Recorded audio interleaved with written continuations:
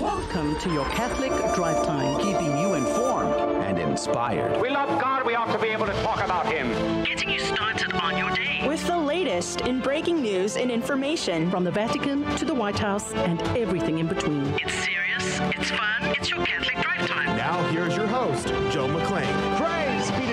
Christ. Welcome back to Catholic Drive Time, keeping you informed and inspired. I'm your host, Joe McClane. So good to be on with you on this beautiful Thursday, September the 29th, 2022. On the saints of um, Saint Michael, uh, the feast day of Saints Michael, Gabriel, and Raphael, the archangels. So praise be to God for that. Here's a good question. Hey, are the fascists back in style? Had the fascists come back to Italy? Is Giorgia Meloni as bad as we are told, or perhaps as she as conservative as we've been led to believe? Well, we're going to have a conversation around that with Mr. Julio Laredo from the Tradition Family and Property in Italy. Uh, coming up at 35 past the hour, so join us for that. He uh, he lives in Rome, or lives. I think he lives in Naples, but nonetheless, he is intimately familiar with the Italian politics, and he'll give us some insight into Miss Maloney coming up this hour. Also, hey, guess what? Great news. Brand new Synodal Way art is fresh off the press. Oh, yeah. And it's stylish. Or some would say revealing. We're going to have a conversation around what exactly it reveals at uh, 15 past the hour. Hector Molina is going to be on with us at the top of the next hour, talk about the Sunday gospel to get you up and ready to go for Holy Mass this weekend. Praise be to Jesus. Uh, but there is lots of stories in the news. More than 2 million people are without power. Uh, this morning in uh, Florida, as the hurricane has weakened down to, I think it's a category one, expected to be a tropical storm in just a few hours. But uh, there's been lots of storm surge, flooding, damage, and more. So, more on that this hour. Hey, a 74 year old Michigan man did admit to shooting an 84 year old pro life canvasser. But I guess what? No charges have been filed. And to this date, still no FBI raid on his house. So, I guess there's that. And did you catch it? CDT is big time. Oh, yeah. We oh, made Oh, Tucker yeah. Carlson last night. I oh, saw that. I want to thank the Academy. I want to thank God, my mom, and my dad.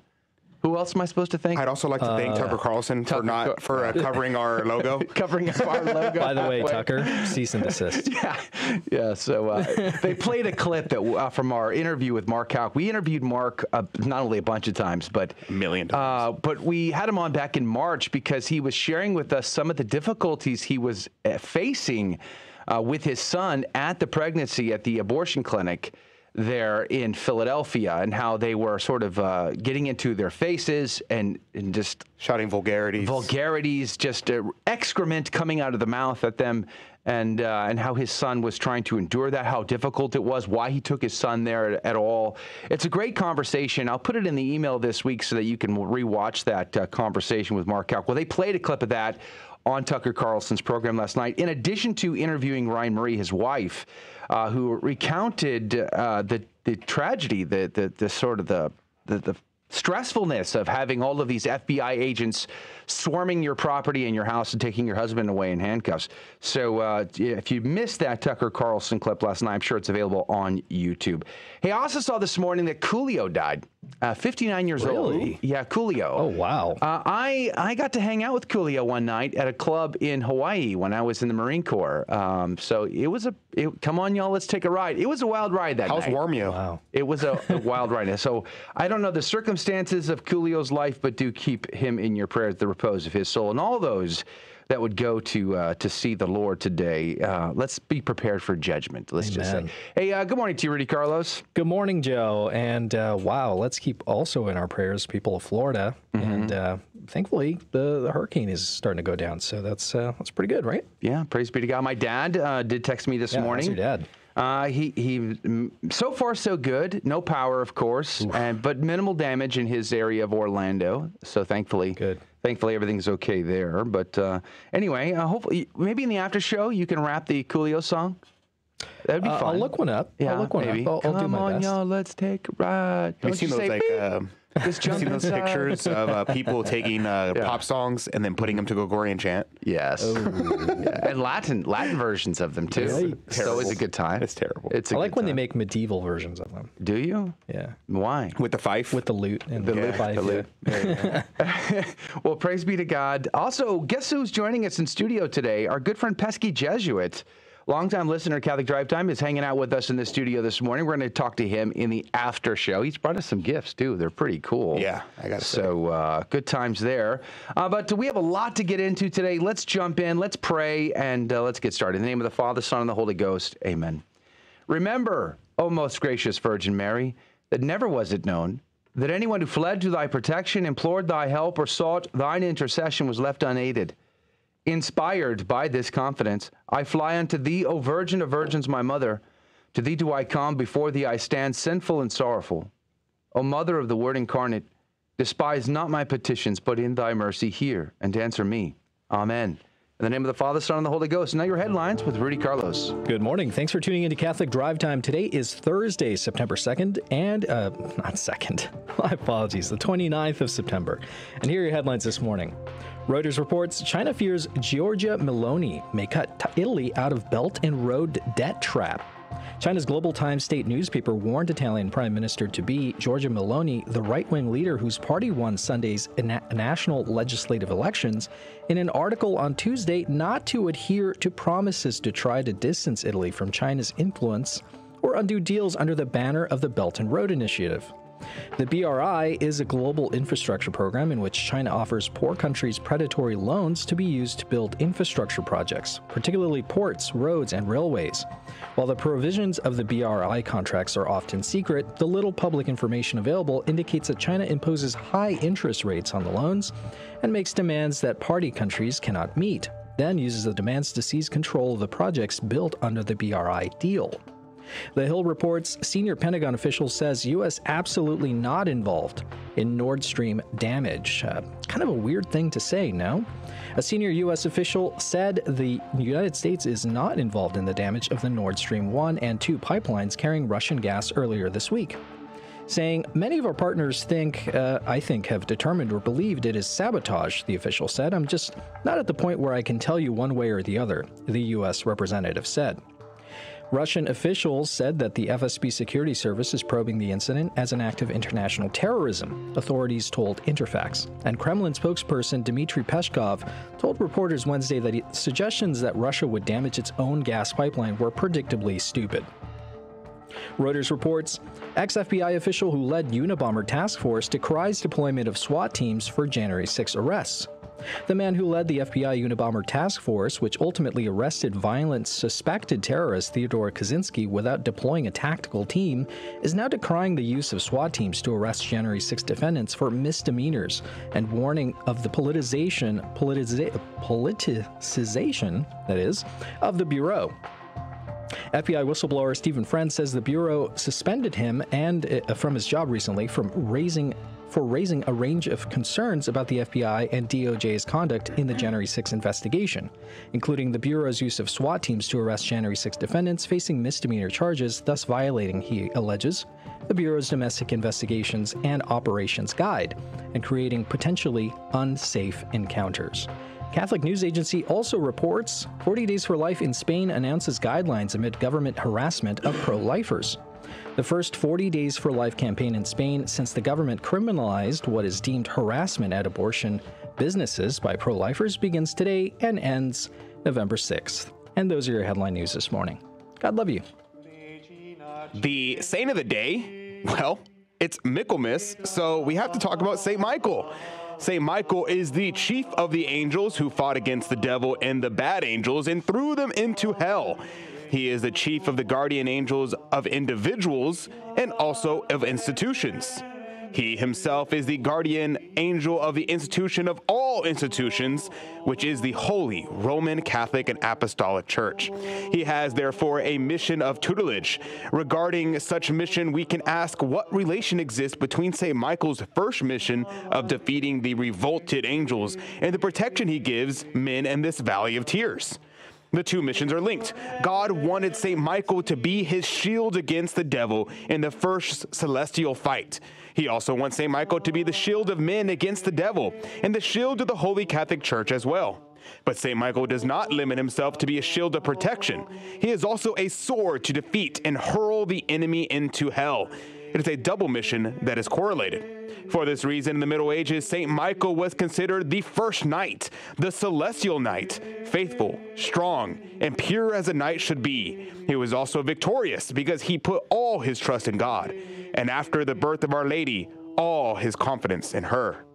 It is this admirable figure of St. Michael whom we should consider our natural ally in the fights in which we are called to engage in defense of the honor of God, Our Lady, the Holy Church, and Christian civilization. With St. Michael as our motto, we should defend them as a shield and attack their enemies as a sword in order to destroy the devil's empire and establish the reign of Mary on this earth. St. Michael should be our special patron. But in our days, people are enthusiastic about money, petty politics, worldly things, the trivial life, and its little news. They are no longer elevated souls who are enthused by great doctrinal problems and celestial things. What we are so greatly lacking today is precisely what the holy angels can obtain for us. They are inundated with a heavenly happiness which they can communicate to us. So let us ask them to give us the desire for celestial things. This is an excellent thing to ask on St. Michael the Archangel's feast day, that we might model ourselves after him and become the perfect knights of Our Lady on this earth. That's from the Saint of the Day from Professor Plinio. St. Michael the Archangel, pray for us. Praise be to God in all things. The gospel today comes to us from John chapter 1, verses 47 through 51.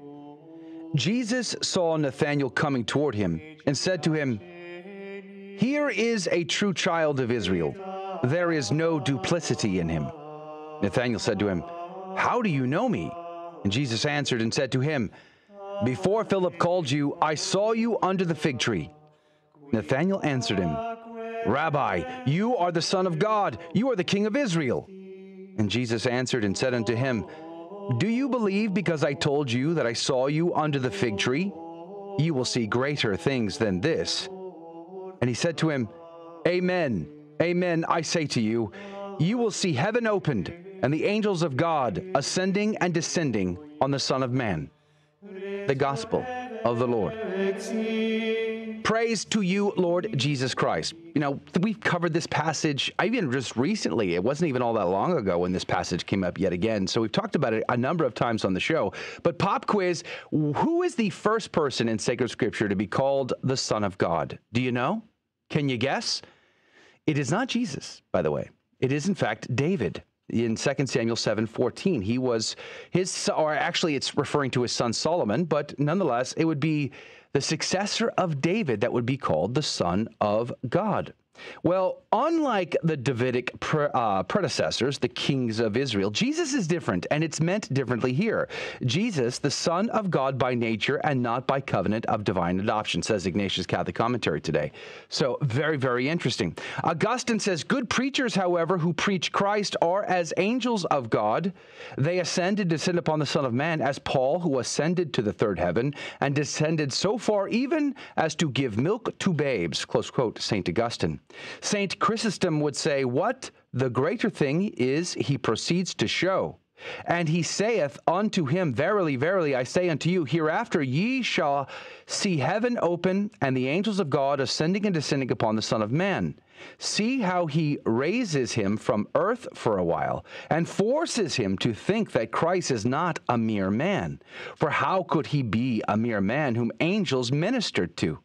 It was, as it were, saying that he was the Lord of the angels, for he must be the king's own son, on whom the servants of the king descend and ascend, descended at his crucifixion, ascended at his resurrection and ascension. Angels too before this came and ministered unto him, and angels brought the glad tidings of his birth. Our Lord made the present a proof of the future after the powers he had already shown, Nathanael would readily believe that much more would follow. Close quote, St. Chrysostom. I like the distinctions made in the early church fathers today on Nathanael versus Peter. Peter says basically the same thing as Nathaniel, but upon his confession, the church is built and not Nathaniel. Why is that? Because Peter recognizes him as God, Nathaniel recognizes him as a successor of David. Let us make clear distinctions in our mind at who this Savior is, who our Lord and Savior actually is. He is the King of Kings and the Lord of Lords. He is the second person of the Trinity. And we'll be right back. We're often told that so long sexual activity is performed between consenting adults, there's nothing morally wrong with what's done. Is this a reasonable way of morally evaluating sexual behavior? I don't think so, and here's why. First, such reasoning justifies disturbing acts like that of Armin Meiwes, who butchered and ate a willing victim that responded to an advertisement placed on the internet. I don't think we want to say consensual cannibalism is okay. Second, the assertion arbitrarily picks consent as the only aspect of nature's design for sex as having any moral significance. If we must reverence nature's design for consensual sex, then why is it okay to not reverence nature's design for procreation? If it's okay to reject one, well, then it's okay to reject the other. So rather than reverencing consensual sex, this argument undermines it. I'm Karlo Broussard with the ready reason for Catholic Answers, Catholic.com. Men, it's time. Participate in the next National Men's March to abolish abortion and rally for personhood on Saturday, October 15th, 11:30 a.m. to 3:30 p.m. in Boston. There is a man connected to every abortion. Men are a big part of the problem and it's time for all men to take responsibility and be a big part of the solution. All men of goodwill are invited to participate in the march and everyone else is needed to show up for the rally beginning at 2 p.m. outside of the State House. For more information, go to themensmarch.com and spread the word. Praise be to Jesus Christ. Welcome back to Catholic Drive Time, keeping you informed and inspired. I'm your host, Joe McClane. So good to be on with you. Praise be to God. Coming up at 35 past the hour, Mr. Julio Laredo from Tradition, Family, and Property in Italy is going to be our guest to talk about Miss Giorgia Meloni. Her powerful speeches, one of which was taken down and censored on YouTube. I think it's since been restored, uh, but uh, a lot of people are painting her as the new Mussolini. I mean, she, after all, is the leader of the Brothers of Italy. Awkward, but okay. Uh, what is the deal there? Is she a fascist? Is she far right? Or is she more moderate than some people would suggest? Well, we're going to have that conversation with Mr. Julio Laredo. Join us if you can and do share us with a friend. But there are lots of stories in the news that are of great concern to me, and I'm sure they are to you as well. Now, I don't know if you caught this story. This is a few days old. I had this up yesterday, and I was thinking about jumping into it, but uh, we ended up having Robert Spencer on, and uh, we were talking about Iran. And that is brand new art off the press for the Synodal Path. I don't know if you saw this or not, but this is very revealing, some would say. The Catholic Vote has an article out, CatholicVote.org. Headline says Synod art depicts women in priestly vestments, person in pride t shirt. Uh, the article says as a select group of church representatives gather in Fra- Frascati, Italy this week, the Catholic Church's Synod on Synodality enters its continental phase. Designed experts from five continents will meet until October the 1st near Rome to review pages of summaries from the 2021 2022 regional episcopal synods and produce from them one global synthesis document. I'll give you three guesses what that'll say, and the first two won't count. Hmm, gee, I wonder. Included in the term in the items for review are pieces of artwork which are highlighted on the synod's official social media platforms, including Facebook and Twitter. One image published on the official Synod Facebook page includes a depiction of a woman dressed in priestly vestments. Next to her is a person wearing a rainbow pride t-shirt. Now, if you're watching us on one of the live video feeds, you can see this image. It's uh, it's not even I mean, it's not even all that attractive of an image, regardless of the political agenda being il- illustrated here. It's, it's just kind, a bad art style. It is just a bad art style. But nonetheless, it shows a what would look like a cathedral building behind them uh, with some banners floating about. It says animate blossoming mission that is larger than any one of us. We desire to be uh, desire to be on what? on advisory council or something like that. Uh, and that, you know, so there's We some. are the future. We are the future. And then there's people holding hands, uh, people of various uh, skin tones, let's just say, uh, genders. I see, well, most, yeah, really ver- sure what the guy in the couple of genders going on here. And then there's this one person wearing vestments who is clearly uh, a female, depicted as a female. Now, that's very interesting. You would expect something like that, say, out of the Episcopal Church. I mean, this is pretty common there. Uh, but in the Catholic Church, of course, women can't be be uh, ordained, and so to see the Catholic Church staff people, whomever, uh, put this together, hmm, why is that? That's very revealing. The article goes on to say the origins and purpose of the artwork are unknown. J.D. Fenn, Flynn, rather, of the Pillar reported, quote, I'm not actually sure whether it's fan art or included in a national synthesis document or has instead been sketched out while these folks are at work on the next stage close quote. So somebody apparently was like uh, working on this like while they were going through the documents? I'm not even sure.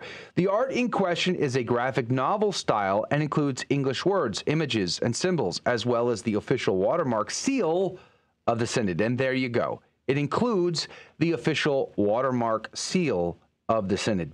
And then there's, uh, they actually, in this uh, CatholicVote.org uh, article, they actually post the Twitter screenshots from the official Synod Twitter handle.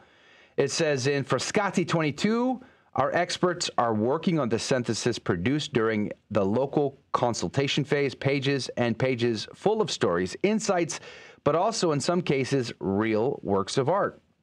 Uh, and then they show this particular art which is, I would argue, not real art. It is a, it's a, it's really just confusing. It's propaganda. I mean, it's propaganda. That much we know. But it's ugly. But it's ugly and confusing propaganda. Yeah. It's not like the Uncle Sam with his finger Right. pointing out to say, you know, Uncle Sam needs you. Ro- what is it? Rosie Rivet? Yeah, I mean, exactly. Like Ribbon, that was yeah. good propaganda. Yeah. Even the communists come up with better propaganda. Like this is confusing, weird, not just great, ugly. It's yeah. There's nothing. There's nothing redeeming about this. In addition to it being propaganda.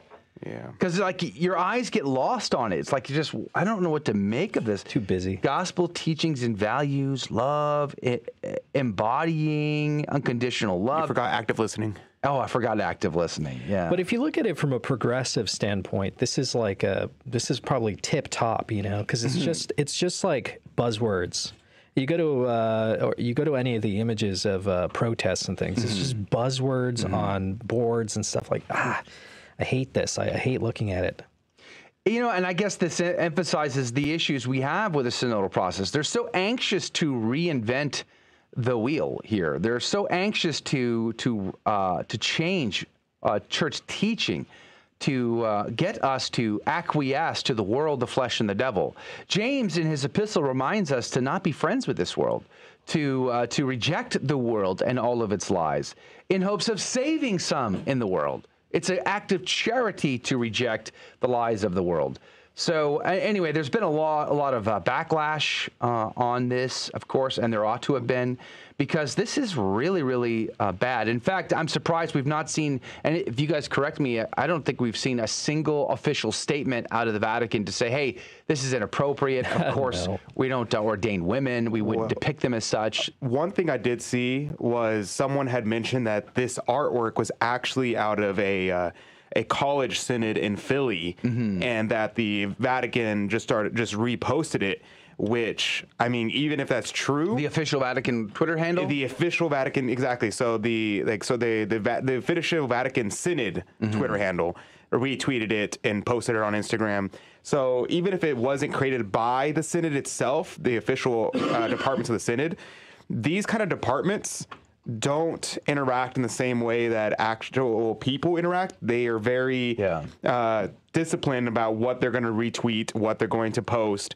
So the fact that they posted is very concerning, especially the one with the uh, the yellow orange one.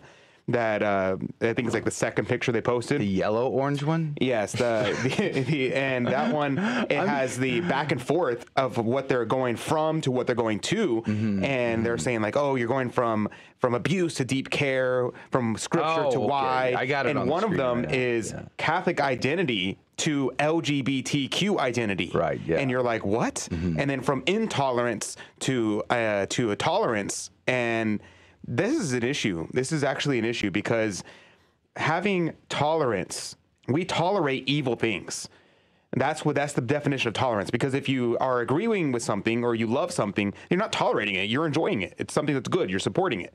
But if you are intolerant, you are intolerant of things that are bad. And so we really should have a spirit of intolerance. And it calls about exclusion to inclusion. That's another problem because if we include everything, you cease to being anything. Just like if a country completely opens its borders and allows every single person to come in, you're no longer a country because you're just you're just you have open everything. So an organization has to exclude somebody, and the people that are excluded from the church are people who don't believe in the faith. Yes, uh, it is very, very concerning, which reminds us of all of the continued insanity coming out of some of the bishops in Europe. And I saw this other story this morning. Dutch cardinal condemns Belgian bishops' same sex blessings, calls for Vatican correction. Praise be to God.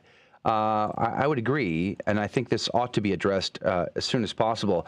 In Utrecht, Netherlands, the Cardinal Archbishop of Utrecht, Wilhelm uh, Echt, Echt, I don't know how to say his name correctly, mea culpa, has called for the Flemish bishops of Belgium to be corrected by ecclesiastical authorities for their departure from the church's moral and sacramental discipline with their publication of the quote rite of blessing close quote for the same-sex couples.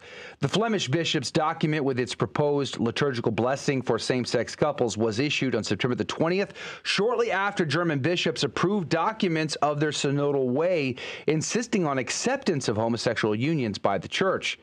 Cardinal Echt of Utrecht strongly objected to the so called rite of blessing, pointing out several reasons it must be rejected and the bishops responsible publicly corrected.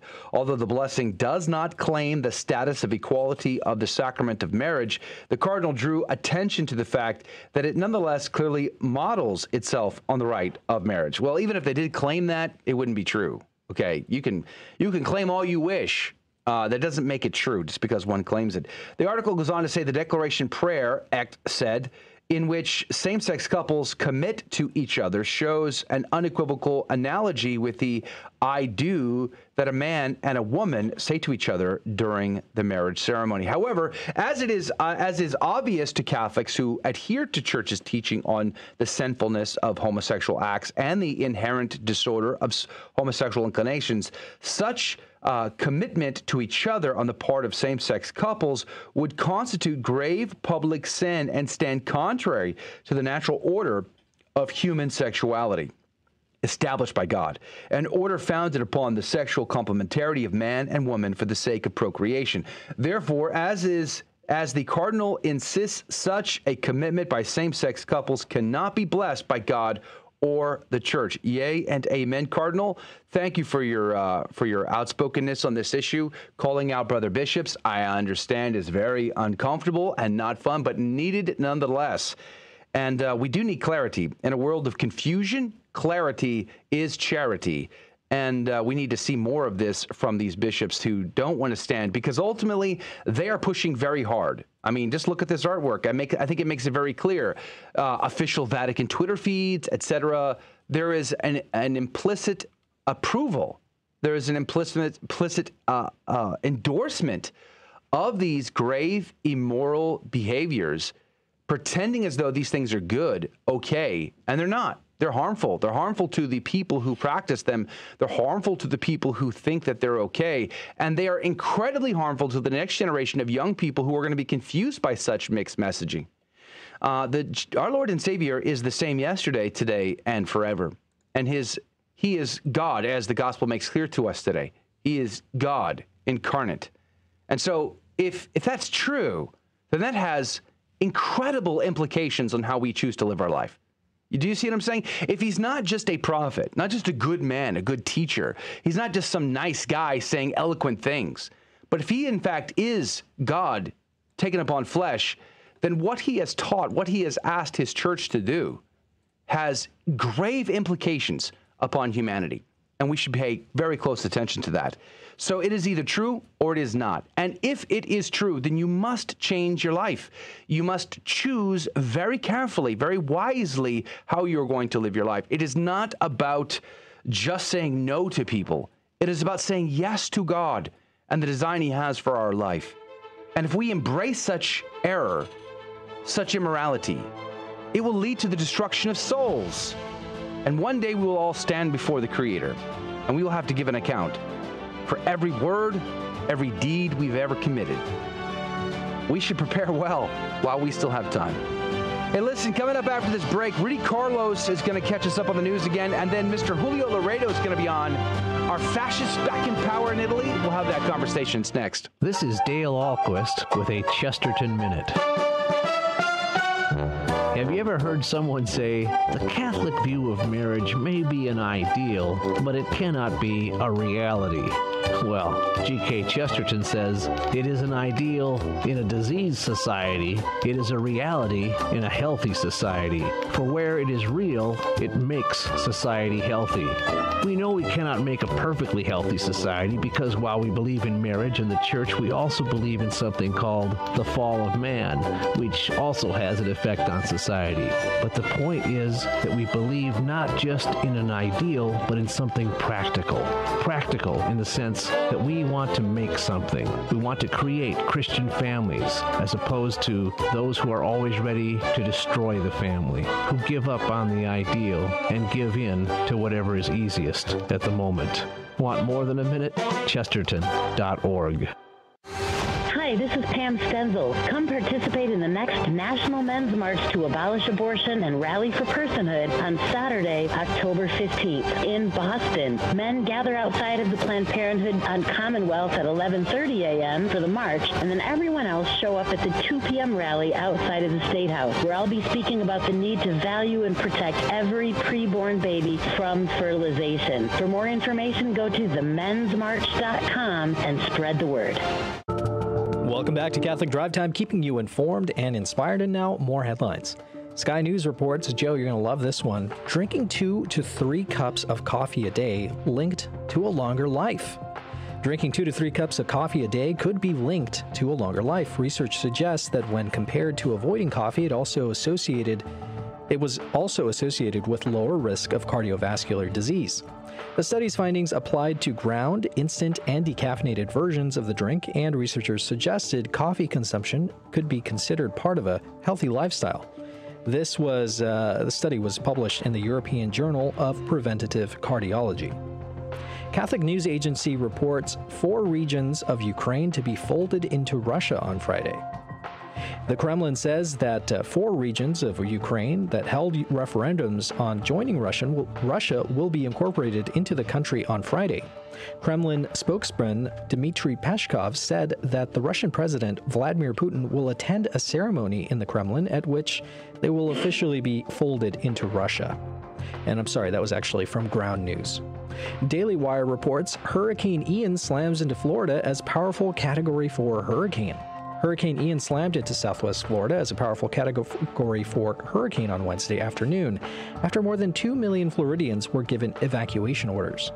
With 150 mile per hour winds, Hurricane Ian is tied for the fourth strongest hurricane to ever hit the state, according to meteorologist Philip Klotzbach. Florida Governor Ron DeSantis said that his administration mobilized fleets of high water vehicles, 42,000 linemen, and 7,000 National Guardsmen and 179 aircraft to respond to the hurricane. Prior to hitting Florida, Hurricane Ian knocked out Cuba's entire electrical grid and uh, it plunged the entire communist island into darkness. Those were your headline news this morning. God love you. Praise be to God in all things. Thank you, Rudy, for keeping us up to date. By the way, if you're not on our email list, you should get on our email list. I, I will include the, the uh, video that uh, Tucker Carlson used in his uh, cast last night from our show in the email list. I'll send that out tomorrow around noon. I also always include some great entertainment for your weekend as well. You can join our email list on our website at grnonline.com forward slash C. DT. Joining us right now from Italy, from the Society for the Defense of Tradition, Family, and Property, is Mr. Julio Laredo. Good morning to you, Mr. Laredo. Good morning to you, Joe. Good morning to everybody, and thanks very much for inviting me. Yeah, praise be to God. It's good to see you again. Uh, last time we had you in studio live, so we're uh, grateful to have you back on the program. Uh, so much has happened since then to catch up on, but let's talk about Italy. There's been a lot of talk here in uh, in North America about fascism on the rise again in Italy with the uh, the rise of the Brothers of Italy party and the first ever prime minister of Italy being a female, Mr. Mrs. Uh, Giorgia Meloni. Tell us about this from your perspective, having lived there for so long. Well, to, to begin with, all this rubbish, all this uh, fascist accusation is just rubbish. You have to understand one thing that for many decades, what was conservatism in Italy, I mean in 1920s, 1930s, 1940s, was uh, associated in one or other way with the with the fascist party of Benito Mussolini. Mm. The real fascists were a minority within the fascist party. But because it was the only anti communist party, it attracted people who were not fascist.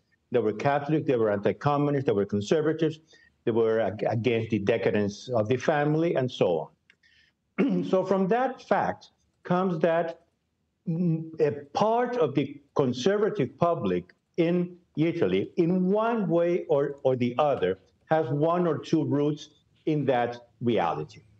So, it's true to say that Giorgia Meloni, in her coalition, has a minority, but I'd say it's extreme minority that comes from that, let's call it tradition. But that's absolutely false. First, that she's a fascist, and second, that she's bringing fascism to power. Mm-hmm. Yeah, I, I, heard this morning. I think it was on um, hmm, maybe it was Deutsche Welle or maybe it was the BBC. I can't recall, but they they even went so far as to say that she herself uh, was an admitted fascist in her youth, in her younger years. Uh, I guess coming out of uh, you know in her twenties or whatnot. So I don't know if you know much of her background there, but uh, did she ever actually was she a, an out and out uh, proponent of fascism ever in her life? Now, she was a militant when she was young. She was a militant of the MSI, the, uh, so, the Italian social movement, which was the ideal heir to the fascist party. Mm-hmm. But it was a democratic party. It had a, a uh, um, it had a very important representation in parliament, and it had done away with all the errors of fascism.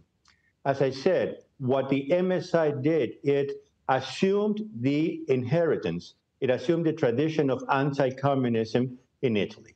Now, that there were string minorities that continued to be fascist, that's a, that's, a, that's a fact, but that's not her case. Yeah, she her her speeches are getting quite a bit of attention. Uh, very powerful, very passionate speeches that she's made, not only in the Italian Parliament but at various events that have made the videos online. In fact, YouTube took one down recently. I think they did re- reinstate it after the backlash. Uh, but some are comparing her to Viktor Orban in Hungary or uh, Marie Le Pen in France. How do you see her? Well, the thing is this, and this is an extremely important point for an analyst like me. In politics, it's less important what the person or who the person is, the candidate or the president is, rather than what he represents. Giorgia Meloni re- re- re- represents the anti revolutionary reaction in Italy. Mm-hmm. And that's the most important fact. Just as in the United States, excuse me, if I give an American uh, example, you can think about Trump, whatever you want. He represents a certain reaction, he represents a certain movement of the public that doesn't want to go in the wrong way, meaning the leftist way. So, Giorgia Meloni, right now, she, because after the flop of Silvio, uh, uh, Silvio Berlusconi, after the flop of Matteo Salvini, she is representing this reaction. She's representing this movement, which has been very visible. I've, I've written about this reactive move, movement already in the late 1990s. It was already visible back then. So what we have to, to do, and the, the most intelligent and most uh, open uh, analysts and politicians in Europe and in the world, that's what they're doing. So let's uh, stop with all this uh, name name calling and see exactly what she's going to do. because she's not even president. I mean, she she uh, she she hasn't been elected, and this is another another point. In Italy, there's a parliamentarian system. What happened is that her coalition got a majority in parliament. Now the president of the state, Sergio Mattarella, will have to convoke her to form a government. Then she will have to submit that government to parliament, and if she manages to have a majority, then she will be named uh, prime minister. Oh, wow. I didn't realize how many more steps there were in that process. But the uh, one thing that really caught my eye whenever she was her speech, she had mentioned God, homeland, and family. And immediately I was thinking, uh, I don't know the context. I'm not very uh, well read in fascist material. So people were immediately like, uh, "She, the, her speech is very fascist." I'm like, is, "Was that a calling cry of the fascist?" I don't know, but what it did sound like to me was I was thinking, I was like, "That sounds like a the calling cry of tradition, family, and property." Uh, what did you think about that speech that kind of went viral? Look, um, uh, Dio, Patria, Familia, God, Fatherland, and Family is one of the traditional mottos of, of, of, the conservatives, of the traditionalists, and not only in Europe, but uh, in Italy, but throughout, throughout Europe. Now, that is very similar to tradition, family, and property, and indeed, the organ of the extreme left called Il Riformista, the uh, uh, reformist, said that Meloni represents tradition, family, and property. Now, I know her personally in the sense that I've spoken with her very quickly uh, a couple of times. There are no institutional contacts between us and her party, and, and her personally, but there are many friends within her party because, as I said, she has served as a rallying point for so many people who want to react. And that's the important fact. Mm. There are even one think tank already opened and another one in the making so as to give a more traditionalist Catholic uh, content to her party.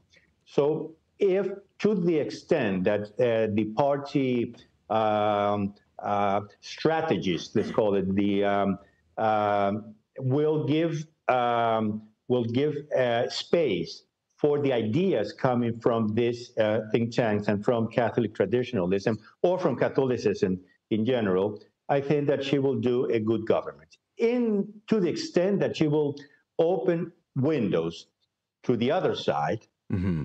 it will be bad. Already, two or three ministers that have been spoken about are not good. Wow. Uh, we have just about a minute before we have to go to a hard break. We're talking with Mr. Julio Laredo from the Society for the Defense of Tradition, Family, and Property. Uh, you know, people are loving, there's so much I want to cover. I'll do more on the other side of the break, but they are loving her pro family, pro God, anti uh, anti-globalist platform, and yet it was the lowest turnout in uh, in recent Italian elections. Anything to that? You got about uh, 30, 40 seconds. Well, you have to, to listen to her speech during the World Congress of Families, I think 2018 in Verona. I was there. It was there where I knew her personally. We spoke about 15 minutes. I'm gonna. I'm sorry. I'm gonna have to pause you. Though, though we just I didn't time that well enough. But Mr. Julio Laredo uh, is our guest. We're gonna pick up right there on the other side of the break. Plus, I want to ask about some of the party platform policies. How Catholic is she? We're gonna have that conversation. It's coming up next. Don't go anywhere. Be right back. Hi, this is Father Stephen Imparato. Join us in Boston for the next National Men's March to abolish abortion and rally for personhood on Saturday, October 15th. Men, we will gather outside the Planned Parenthood to begin the march, and then we're going to meet everyone else for a 2 p.m. rally outside of the State House, where I'll be speaking about constitutional personhood for the preborn and where we need to go from here. For more information, go to themensmarch.com. Again, details, mensmarch.com. Join us and spread the word. Hello, this is Steve Gleason with your one minute tool for Catholic evangelism. Here's the question for your non Catholic friend. Your only daughter met a fine young man who was a committed Mormon. She now wants to join his church. What's your answer? Well, here's your three best friendship tools for Catholic evangelism. Number one, a reason for no, doctrinal positions such as the deity of Jesus and the Trinity. Your reason for yes, you deem seemingly moral character as superseding biblical truth. Secondly, orthodoxy. Your answer is probably no, but how and why? Your resistance to Mormon doctrine does not just come straight down from the Bible. Bible. It comes from the first five centuries of brilliant theologians, bishops, and popes. These Catholics wrote, debated, and fought for truth. Example, in 250 AD, 311, and 417, three different popes excommunicated three different heretics, Sabellius, Arius, and Pelagius. They denied the Trinity, the eternal deity of Jesus, or taught that human effort warranted salvation. Would your pastor excommunicate a heretic? Well, unfortunately, your pastor can only remove someone from his local congregation, but that's okay. That guy will probably end up being welcomed to a church down the street. Praise be to Jesus Christ. Welcome back to Catholic Drive Time, keeping you informed and inspired. I'm your host, Joe McClane. So, going to be on with you. Praise be to God. We're having a conversation about Giorgia Meloni. Um, potentially, I guess is the better way to say this, potentially the first female prime minister of Italy.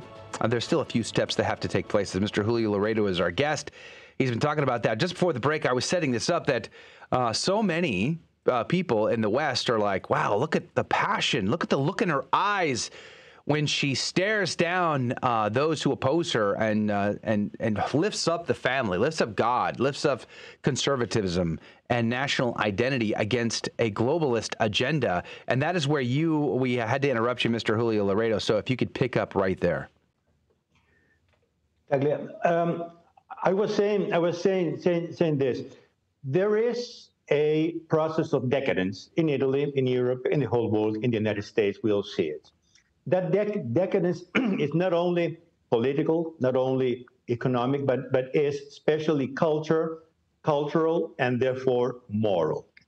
And the reaction that has been building up in Italy, in Europe, and in so many other countries in the world expresses itself in the defense of certain values that are being denied, are, are being destroyed by the left. For example, national identity. Um, here in Europe, there's a tendency to form the, um, the Union of the Soviet European Republics. And that's not my, my line. This is uh, Vladimir Bukovsky, you know, this famous Russian dissident in, in the early 2000s. He already said you are, we are going towards the constitution of the Union of the Soviet European Re- Republics. Well, there's a whole move, movement that said, no, we are Italian, and within Italy, there's the north, there's the south, there are the several several re- regions. Therefore, a, a very healthy traditionalism. And in this sense, Giorgia Meloni and me too, he, she is against this European Union, not against a European Union. She favors what is called the Europe of nations, that is, a free confederation of nations, each one having its own identity, its own tradition. Second point, the European uh, Union has been extremely laxist, laxist meaning lay, um, uh, attacking religious beliefs, be it Catholic or be it any other, but especially Catholic beliefs. Now, that's part of Christian beliefs in general. Well, that's part of our being European. That's part of, our being Western. So she's very much uh, in favor of defending the Christian traditions of Europe. The revolution wants to destroy the family as a, an, as a natural institution and as a sacrament. Mm-hmm. Well, the family is the foundation of society. It is the foundation for the uh, uh, good um, uh, well-being, for the well-being of the of the children, etc., etc. So Giorgia Meloni defends the family because the family, she says, it was it it's what gives us an identity. Mm-hmm. Now, so she's against a homosexual quotation marriage, mm-hmm. uh, against the LGBTQ, et cetera, et cetera agenda, because this is all part of the cultural, moral revolution that is devastating our society. Yeah.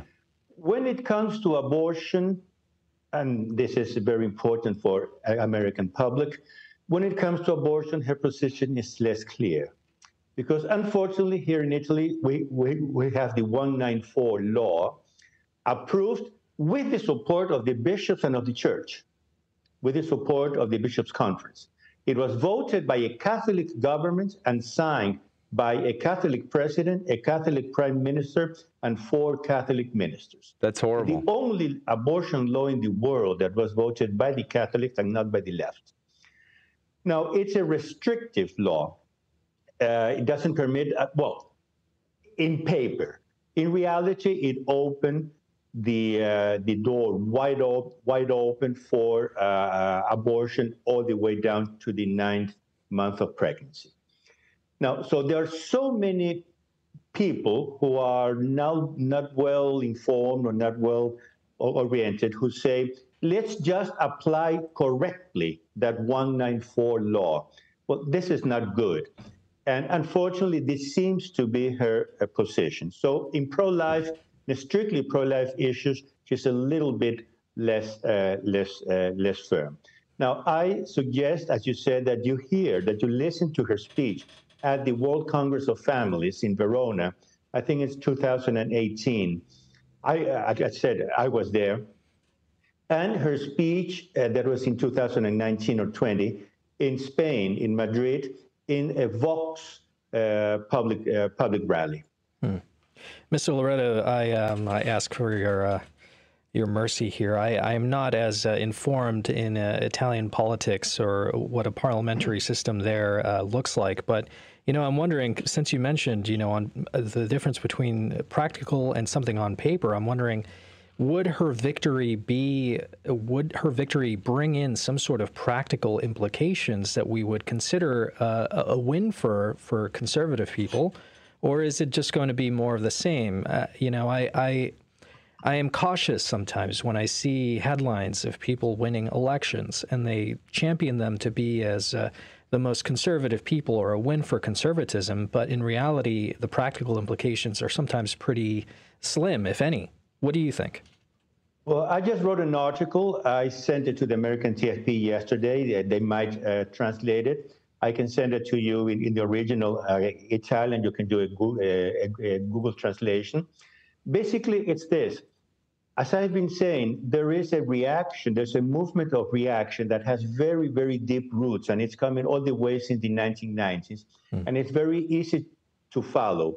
Well, it just happened that today, Giorgia Meloni concentrated in, in her this reaction and won the first free elections in Italy since 2008. But this wow. is another point that has to be taken into consideration. Italians has, haven't voted since 2008. So parla- Parliament has perpetuated itself electing people of their own mm. as presidents without e- ever consulting the Italian people. The first real free elections that we, we've had in 15 years are these ones now. And wow. The, and the certain, certain, yeah, those are the problems of the parliamentarian uh, system, which is very different from the presidential system that you have in the uh, United States. Now, will not so much she, but you know, a party is made of scholars, it's made of analysts, it's made of um, people who actually for us write and form the, the program of the party. Will they understand that the Italian people has put in their hands not only the Italian government, but more deeply, the mission to react against the revolution. The mission, the mission to defend the family, defend the uh, national identity, defend the church, defend innocent life, etc., etc., and, and and that's historical mission. Will the party pundits, let's call them like this, the party pundits understand this and make an, an anti-revolutionary government or will they uh, fall back on politics as usual? Unfortunately, the first signs have been a little bit mixed. On the one hand, there are very good signs, there are very good promises that have to be then uh, effectuated. And there's much, unfortunately, there's much politics as usual because all the parties are, are you say, vying, no, are, are trying to, to grab their own, their own bit of the cake. How will this be? I don't know. But the fact is that there are people, the TFP, the Italian TFP is one, but there are many other people who will put uh, Giorgia Meloni's gov- gov- government on the hot spot mm. when it comes to defending the real, the real values. Yeah. And one thing I said in this, I say in, in this article, um, analysts here distinguish between what they call a structural vote and a personal vote. Structural vote means a vote for the program. Personal vote means a vote for the leader. Unfortunately, Giorgia Meloni has only 19% of structural vote, that is, a vote for her party's program. 81% is a personal vote for her. Now, the charisma of, of a leader comes and goes very easily. Will she be able to transform this personal vote, her own charisma, into a vote for the party's program, for the ideas, for the values? That's the great question that everybody now in, in Italy is asking himself. Real quickly, we only have a couple minutes left in our conversation. You know, you're we're saying all these things, and American politics is receiving all this kind of propaganda. And what is the perception of the Italian people, the average Italian uh, citizen, about this whole situation? It's exactly what I said. They were, excuse me, the expression, they were fed up with not being able to vote. And they were sick and tired of seeing all these left wing politicians become presidents without ever winning one single election. Mm-hmm. The first opportunity that they, they've, they've had to ex- express their views, to uh, express their, their mind, they voted massively because in the Senate, the center right coalition, uh, the majority is 201. There are 400 senators 201 makes a majority. They have 238 wow. senators. Wow. In the House of Deputies, the majority um, is uh, 400. Uh, excuse me. Um, Senate is 100. Uh, Senate is 400. They they they have 45 votes more than the absolute majority. So they have the numbers to do a very stable government. In fact, mm-hmm. they can do whatever they want. Now, the Italian people also expressed itself in the regional and local elections because, along with the general, national, federal elections, there were many local elections. Most, except one, of the left wing candidates at the local level mm-hmm. lost. Really? Wow. So this is also very important, and it forms the whole the, uh, the whole picture. Mm-hmm. So the Italian people voted massively. It's not a majority of 50 plus one. It's a huge majority that they now have in parliament and at the local level.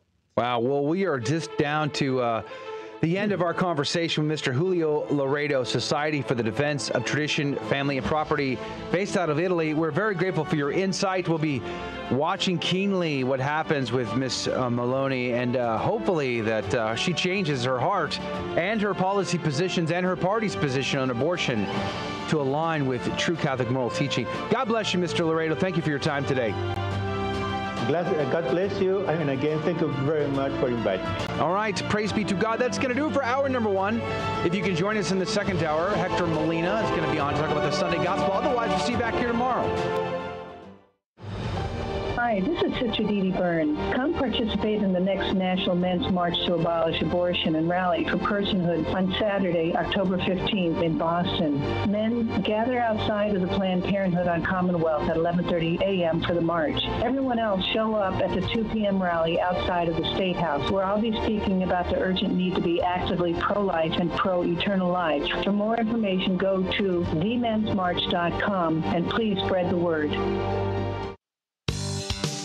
Hello, this is Steve Gleason with your one minute tool for Catholic evangelism. Here's the question for your non Catholic friend Can you really say you know what praying the rosary is all about? So here's your three best friendship tools for Catholic evangelism. Number one, listen to the who's who of the rosary. We have the Blessed Trinity, we have the Angel Gabriel, we have the Virgin Mary, we have John the Baptist, and we have Elizabeth. So, how's that for a cast of sacred ones? Secondly, reflection. While saying the rosary, we reflect on 20 primary and sacred moments that occur in the lives of the Holy Family And thirdly, the rosary dynamics. Here's how you involve this cast of holy ones in praying the rosary. You first invoke the three persons of the Blessed Trinity, then on to praying the Apostles' Creed. Then you will pray in Our Father. Then you will recite the angel Gabriel's words to Mary. Then you'll recite what Mary said to Elizabeth, and then you will relive John the Baptist being filled with the Holy Spirit in the womb. Then you will ask for Mary's assistance in your life, and I'm so glad to say none of that is idolatry.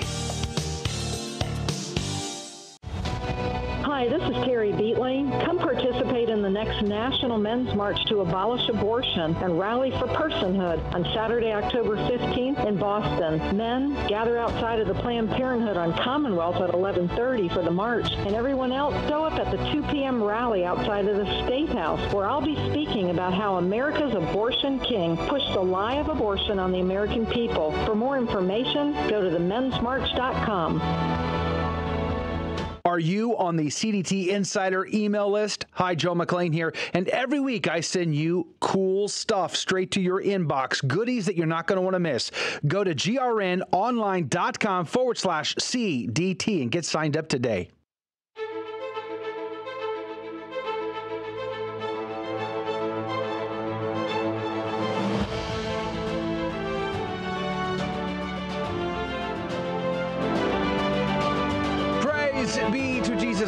Welcome back to Catholic Drive Time, keeping you informed and inspired. I'm your host, Joe McClane. So good to be on with you. Praise be to God. It's hard to know just who to believe these days. Fascists on the rise. Can you hear the sound of the boots marching there? Some people would say, some would say, some would say. Do we get a pair of uh, quality Italian handmade boots? Is she Mussolini Jr.? Hmm. Some people are actually painting her in- into that light. But you know what gets me? I meant to bring this up. We just didn't ran out of time. Mr. Julio Laredo had so much to offer as far as context goes. You know, and she's not a perfect character by any stretch of the uh, imagination, Miss Giorgia Meloni in Italy. Uh, but she is exciting a lot of people for sure. Um, you know, what gets me is uh, people talk about fascism as though it's some sort of conservative. You know, he did talk about how they got mixed, right? So there was a lot of Mhm, yeah. conservatism that got mixed into it. In uh, in the 19th or the uh, yeah the 19th century there, 18th uh, the 20th century, we're talking 1900s in Europe. Socialism was on the rise all across Europe, and it became a battle, a war for for who gets to have their flavor of socialism enacted. So you have Nazi socialists, you got fascist socialists, you got communism, all still Marxist socialism. It's just different points along the journey. And they're all fighting each other over who gets to decide what their their flavor of socialism gets to be enacted. To this day, there's still some socialist uh, p- elements still in these governments all across Europe. I mean, hello, uh, you can pretty much go to college for free as citizens of these countries because of socialism, right? So uh, it's very interesting to me how they they paint socialism, which fascism is a brand of, sort of a quasi mix between socialism and free market capitalism. Uh, but the cooperation between government and and public uh, and private entities is a socialist idea. So, uh, nonetheless, they always paint this to be some sort of very Republican type of conservative thing. And it's like, no, just call for what it is, what it is. Like, stop, stop playing these games. I mean, it's either conservative or it is not. And in this case, uh, they are they're always messing with that. But uh, can we turn up the volume a little bit on that, Adrian? This is uh, Mrs. Uh, Meloni giving a speech. I think this was from 2018. And what I, one of the things I like about her, I did look at the eyes. She looks very sincere. Regardless of what you think of her politics, she does look very sincere, very determined in her in her uh, in her approach, and I like that about the speeches that she gives. But I, I'm very concerned about where she lands, as Mr. Julio Laredo pointed out, and I've seen on a website here. You know, she basically supports abortion, uh, except for past the first three months. So that's that's definitely a major problem. That's a huge roadblock as Catholics. Um, but the point he made, Mr. Laredo, in the last hour, if you missed it, let me encourage you to get onto our podcast feed and to uh, and to get tuned into our podcast from our conversation, Mr. Julio Laredo, is that the, the complexity of the abortion issue in Italy stems from the fact that you got Catholics everywhere debating this issue. You got Catholic bishops seemingly endorsing it. You got Catholic parliamentarians seeming, uh, you know, also endorsing it, voting for it. Catholic, Catholic, Catholic, Catholic.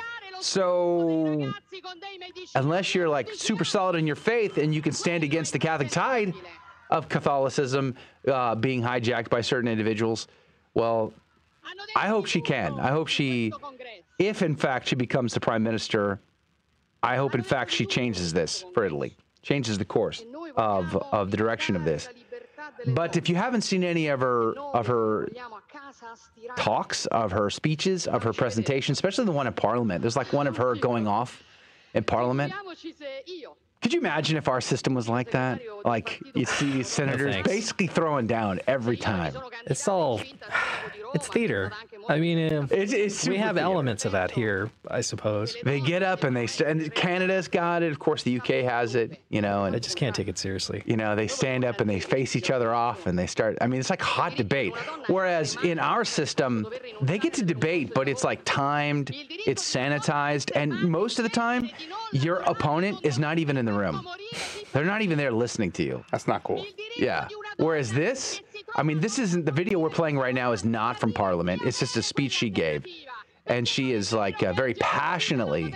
You know, one thing I noticed is that she has legitimate um, actions and demeanor and tone of a rhetorician, whereas American politicians really don't have the skill of rhetoric. They kind of just give their speeches as if they're reading it. Um, even the best ones, like people would say that Barack Obama was a great rhetorician, but really he really wasn't. Yeah. He. What about he the cadence of good things. President Trump? No, Trump is not a great rhetorician either. I mean, K- Trump is uh, is entertaining, but I wouldn't say that. Yeah, So- yeah. Well, very interesting nonetheless. Uh, I do encourage you to check out our podcast for our conversation with Mr. Julio Laredo from the Society of uh, Tradition, uh, the, the Defense of the Tradition, Family, and Property, giving us some great context on the Italian political system, on the implications of this, and so much more. You can find everything linked up on our website at grnonline.com forward slash CDT. We'll be watching it very closely, following up with that conversation when more develops there. But joining us right now by phone is our good friend Hector Molina. Good morning to you, Hector. Good morning, Joe. Praise be to God. How many times have you been to Italy? Have I been to Italy? Actually, only once. Oh, yeah? Oh, yeah? I was Rome? there for the, the beatification of John Paul II. Oh, wow. Fantastic. No kidding. That, that must have been crowded. Did you get a chance to uh, to see much while you were there? I was in the front row of my hotel lobby. you couldn't move in Rome. Oh, yeah, I bet. I bet it was super crowded. Uh, yeah. All of Poland was there. Yeah. I'm sure all of Poland moving into Rome for the day. Yeah, I bet it was. Hey, let's get ready for the Sunday Gospel. Uh, I guess it's Luke chapter 17, verses 5 through 10 for this uh, coming Sunday. What are we looking at here? Well, Jesus continues to impart to his disciples and to the multitudes and the scribes and the Pharisees a series of what we call the hard teachings of Jesus. It's been rough over the last several chapters. He's delivered very stinging and sobering parables. And as we left off last week with the parable of Lazarus and the rich man, Jesus just prior to, to this Sunday's pericope, he delivers a series of statements regarding the importance of forgiving, of not holding on to bitterness or strife, but forgiving our neighbor. So he's really exhorting his disciples in a very, very powerful way. He's, he's calling them to holiness. Mm. And they respond to this by crying out to the Lord, saying, Lord, increase our faith because we just don't have it. what you're calling us to is it's impossible by human standards to be able to fulfill. And the Lord's response is, is again, in his inimitable way, it is quite parabolic and it is really striking. He employs this image that many of us are familiar with the mustard seed. He says, if you had faith as a grain of mustard seed, you could say to this sycamine tree, be rooted up and planted in the sea, and it would obey you. So he, he pulls out this image, this metaphor that is really, really striking for a number of reasons. Now, this is lost on us moderns. We don't understand fully the context, and this is why scripture study is so fascinating because we're familiar with the mustard seed. Mm-hmm. We know that earlier in the gospel, he gives the parable of the mustard seed. He likens it to the kingdom. And the kingdom that begins as a tiny mustard seed, proverbially one of the smallest seeds known in that region. And he likens that to the kingdom that grows into this great tree, and all of us essentially abide in the branches. Well, he uses that image, but he applies it in a different way here. He says, if you have faith at the size of a mustard seed, you could say to the sycamine tree, basically be uprooted and planted in the sea. And this really would have left his listeners scratching their heads like, wait a minute, because they knew that the sycamine tree was a tree that grew to about 30, 35 feet high or tall, but its root system was one of the most extensive root systems of all the trees in the Middle East, in Palestine at that time. It would have been impossible to uproot a sycamine tree because their roots grew hundreds of feet below ground. Wow. And they were able to survive in very arid and difficult conditions uh, because their roots grew so deep, they were able to tap into the moisture there. So, this notion of uprooting a sycamine tree, impossible. But then you add to that the fact that he's saying, well, all you need to do is say to this tree, be uprooted and essentially commit suicide in the sea, and it would obey you.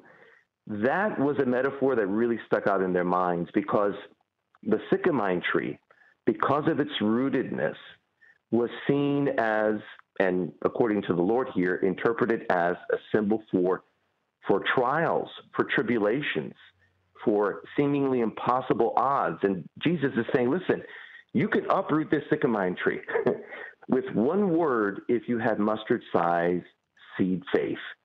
And this was something that struck them. On top of that, you have the fact that the fruit that this tree produced was bitter. It was bitter and difficult to digest.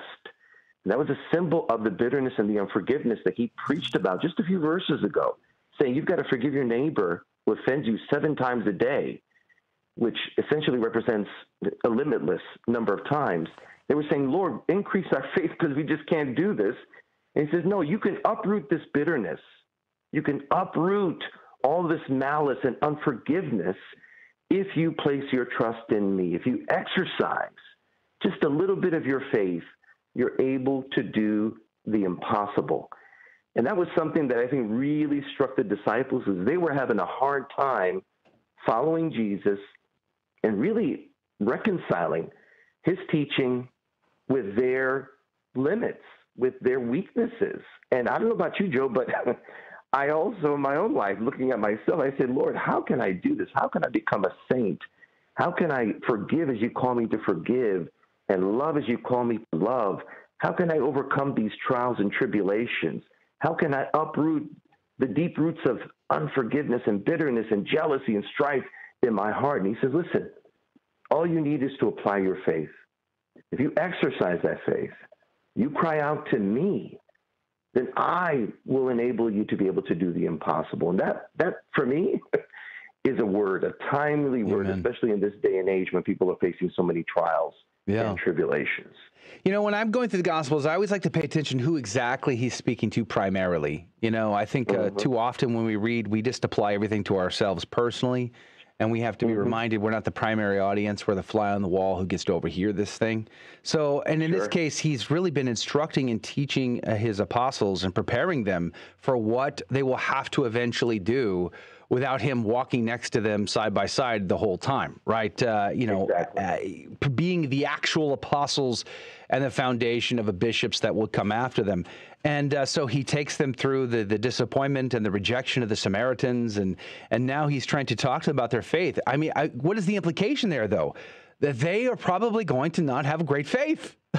like he the implication exactly. is you bishops you apostles are going to be weak in the faith category be warned yes. be that should be a sobering passage for bishops oh goodness listen they've spent almost three years with him he has on at least five occasions when you count throughout the Gospels said to them, Ye of little faith. And so he's on the death march right now. He's on his way to Jerusalem to be crucified. And still, he regards their faith as being weak. That's to put it mildly. Mm-hmm. And they recognize as he continues to preach and to teach and to deliver these parables that they're just not up to the task. But Jesus nevertheless exhorts them. If you had the faith the size of a mustard seed, right. if you exercise that faith, that, that seed has the power to germinate. If you sow that seed and if you nurture it, it can do the impossible. So, yeah, you, in context, yeah, this is pretty stark. I mean, his disciples, after more than two years of training, still have incredibly weak faith. And yes, it's humbling, especially when you consider priests and bishops and us ministers in the church. Yes, we must recognize in all humility that we must cry out to Jesus, Lord, increase our faith. Amen. Praise be to God. Check him out online. HectorMolina.com is his website, HectorMolina.com. Hector, God bless you, my brother. We're looking forward to seeing you back next week. Thank you, brother. Praise be to God. Dive deep into the Gospels. Get ready for Mass. But on the other side of this break, it is Fear and Trembling, where you can win prizes. Call right now for your chance to win. 877 757 9424. We'll be right back.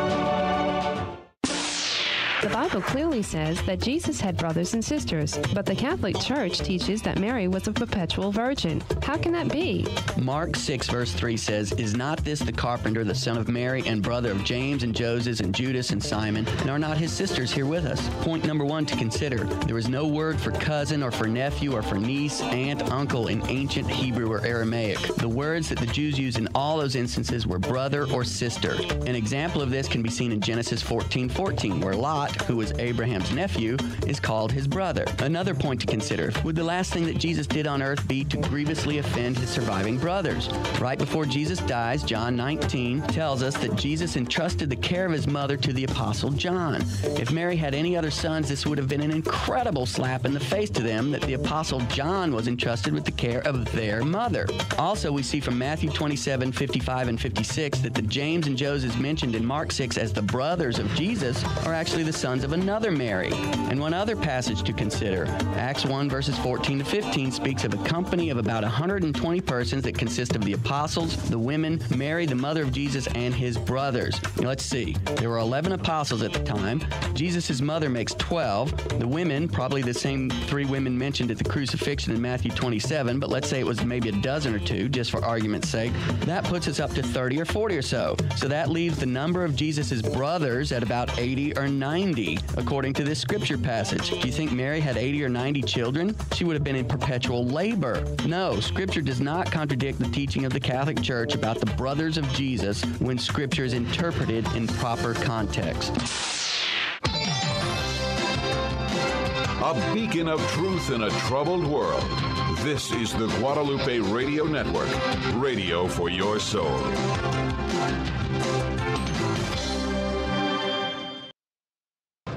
Welcome to another round of fear and trembling. the Catholic Trivia Game Show that helps you work out your salvation by the seat of your pants. It's a 50 50 chance, and prizes are involved. Avoid the weeping and gnashing of teeth. Call now to take your shot 877 757 9424. And now, your host, Joe McClane. Praise be to Jesus Christ. Welcome back to Catholic Drive Time and Fear and Trembling, a Catholic trivia game show with secrets and agendas that you just can't tell anybody ever. Stop tweeting it right now. Stop that. Don't tweet that. You see what I'm saying? It spreads super fast. But if you will promise to keep it between us, then I shall share them with you. Number one, we like to teach the faith, and we look for teachable moments in the questions where you're going to learn something, at least one thing. Praise be to God. And that's always a good time. And then, of course, we like to have a laugh, we like to have a chuckle, and our callers are certifiably amazing. Uh, and if you call right now, you'll have a great chance to play our game, 877 757 9424. That phone number is 877 757 9424. Phone lines are wide open. Adrian Fonseca standing by to take your call at 877 757 9424. Call right now, 877 757 9424. First caller gets to play the game. And so uh, we, we learn stuff, we laugh, and we give out prizes, which means it's a winner for everybody involved, right? Uh, so this is the deal, though. The catch is I have three Catholic trivia questions. And we don't ask the callers the questions. So they don't need to know the correct answers. They could not know a single correct answer, but could still win the game. Because instead of asking them, I shall ask Rudy and Adrian.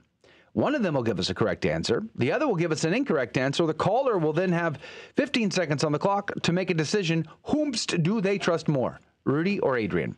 And every correct answer then will go into the coffee cup of divine providence to win this week's prize. That phone number again, wide open phone lines today. Call now 877 757 9424. That phone number is 877 757 9424. 877 757 9424. Rudy, what could they win? It's over, Joe. It's over? It's over. Just like Coolio's life. Um, well, our sponsor this week is CDT, and uh, it's over because we were out of Coffee Cup of Divine Providence replicas. We are? We just have one more. Only one? And the person this Mm-hmm. week who gets drawn out of the authentic Coffee Cup of Divine Providence Oh, is going to win the very last cup, as well as a copy of Dr. Christopher Malloy, Mal- Malloy, Malloy's book, Mm-hmm. Yeah. False Mercy. Wow. Now, when you get your Coffee Cup of Divine Providence, it's going to be autographed. I see. So you can choose whether to put it on your shelf or actually use it to drink things. Or sell it on eBay as a Or collector's sell it on item eBay for like a col- billion dollars or something. But I personally suggest that they drink three cups of coffee a day because it helps supposedly your cardiovascular health. Is that right? According to the study that I quoted today. Well, uh, you know, I've been saying now for a long time coffee's gross. 80 ounces of coffee a day keeps the doctors away. Huh. Coffee's disgusting. Pretty sure I said that mm. so- at some point. Mm. You should just go with it. I'm just gonna drink um, mm. mm-hmm. instead, mm-hmm. just like that uh, lady who lived to be 100 years old. She said they asked her, "What did you do that kept you alive?" She said, "I had a Dr Pepper every single day." and I'm like, you know, I'm gonna do what she did. Don't do that. Whatever you do, don't do that. All right. Praise be to God. Uh, thank you, Catholic Drive Time, for giving us some uh, cool stuff to give away to our listeners. Check out their website, grnonline.com forward slash CDT. That's an amazing website, by the way. It is. so glorious. Praise be to God. All right, let's go to the phones. Uh, Chris and kids in Flower Mound, Texas. Good morning to you. Good morning, Joe. Praise be to God. How are you guys? Oh, we're doing great. I've already had four cups of coffee this morning. Oh, so I'm ready to You, sir, are obviously very intelligent. Is your heart beating out of your chest? Is that the secret Wide to surviving ready to kids? go.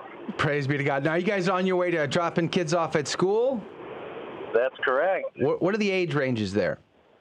Right now, I have my 10 year old, my 8 year old, and 6 year old in the car. How wonderful, guys. Are you guys looking forward to school? Yes. Yes. School is awesome. Praise be to God. Well, we're glad you're on the show today. Flower Mound, Texas. That's right outside the, uh, small Texas town of Dallas, right? That's correct. We're just north of the DFW airport. Oh, really? I know the area very well. Praise be to God. All right. Uh, are you familiar with this game? Do you know how the rules work? Yes, we are, and we know. All right, let's get started. We will start with uh, Brother Rudy Carlos, as is the custom, wearing his uh, classic, classic uh, blue tie with the paisley, paisleys. What are they called? Paisleys, yeah. Paisleys. This is the Pentecost fire tie. I see. Very Okay. nice. hmm So correlate that information based on his responses.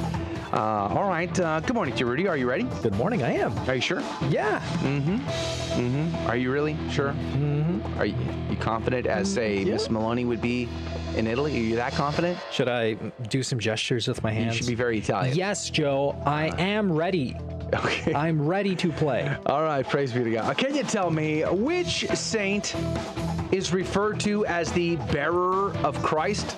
The bearer of Christ. Ah, well, that is Saint Christopher. Is it? Yeah, believe it sure. or not. Make Yeah. Patron of patron saint of travelers, and he's the bearer of Christ. And the bearer of Christ. Was he Italian? Just curious. Uh, I don't know. I don't know. All right. Well, let's just see uh, what uh, Adrian has to say here. Adrian, good morning to you. Good morning. Good morning. Praise be to God. Could you tell me which saint is referred to as the bearer of Christ, please? Yes, that would be Saint Fraternus. Really? Mm-hmm. Fraternus. And he definitely sounds Italian. Nope. No? French. Fraternus is Yeah, French? He's bishop and martyr of France. Are you being serious? Yep. Are you pulling my leg? Nope. All right. But it's the 450, so French hadn't really been developed the way we know it Oh, I see. I So they probably spoke Latin. They probably just spoke Latin. Yeah. Okay. All right. Uh, well, Chris and kids in Flower Mound, Texas, you've got options. Which saint is referred to as the bearer of Christ? Is it Saint Fraternus? As Adrian is trying to get us to believe, or is it St. Christopher, as Rudy seemingly believes? 15 seconds on the clock. Who is right? Who is wrong? Chris and kids, what say you?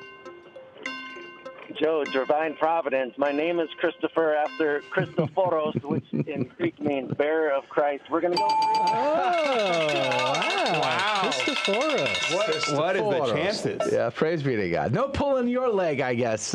No, no. no fastballs for you. Praise be to God. That was an easy one then. Now, did any which which nationality is he? Does anybody remember? St. Christopher, I forget. Is he was Greek? No, Oh, the name he is was- Greek. He was uh, from one of the heathen countries. I forget where it Okay. was though. Like Germany or something? No, it was. Uh, I have to look it up. All right. I'll, put, all right. I'll look it up. Saint and tell you. Christopher is the correct answer. Let's see if we can't double your chances He was with this Canaanite. next. He was Canaanite. Was he? Yes. Are you being serious? Because they call him a dog-headed person. Ah. He was from the Canaanites. Uh, canine. dog. Canine. The Goyim dog. Yeah, I remembered. All There right, here we go. Second question. We're going to go to Adrian this time. Uh, speaking of Goyim dogs, uh, Adrian, Oh man, could you tell me a congregation of secular priests? A congregation of secular priests is called a congregation of what? Yes, that would be a congregation of the oratory.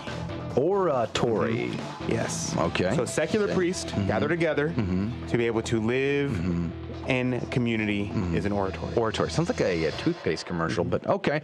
Uh, Rudy, could you tell me a congregation of secular priests is called a congregation of what? Secular priests, you might think, huh, that's odd. What do you mean secular? Aren't they religious? Aren't they? Hmm. Anyway, they call themselves the secret society of secular priests. Do Don't they keep it under wraps, you know, like, oh, we're not Uh-huh. actually, we're secularists. We're Whoa. pretending to be priests.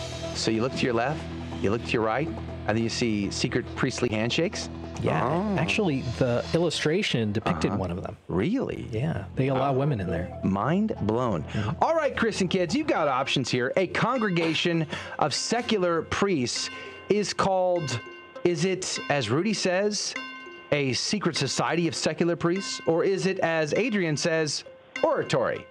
Quite a contrast there. 15 seconds on the clock. Who is right? Who is wrong? Chris and the kids, what say you? Adrian. You just gonna say it like that? It's So wise. Truly, truly, this is a very. This young lady is very brilliant. She's very, very beautiful. I can tell. I can tell.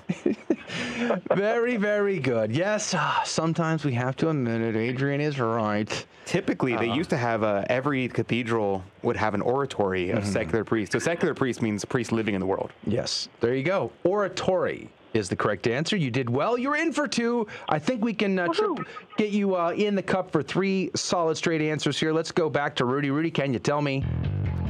What is the completion of the eighth beatitude, sir? Is uh, the first half goes, "Blessed are they that suffer persecution for justice' sake." Blank. Fill it. Please fill it in. Uh, you might say that they're in Spain, but the S is silent. Uh, but the continuation there is, for they are meek and humble of heart. Really? Yes. Hmm. Meek and humble of heart, you say? Mm-hmm. Okay. Adrian, I know you have advanced degrees in beatitudology. If you could help me here, uh, blessed are they that suffer persecution for justice' sake. Could you fill the rest in, please? Yes, uh, as someone who identifies as having a PhD in beatitudology, as you had mentioned, uh, the Beatifist? clearly the answer is for theirs is the kingdom of heaven. For theirs is the kingdom of heaven, you say? Hmm. All right, Chris and kids, this could be the trickiest. Is the eighth beatitude completed with "For theirs is the kingdom of heaven," as Adrian suggests, or is it for the meek and humble of heart, as Rudy is trying to get us to believe? 15 seconds on the clock. Who is right? Who is wrong? Chris and the kids in Flower Mound, Texas. What say you?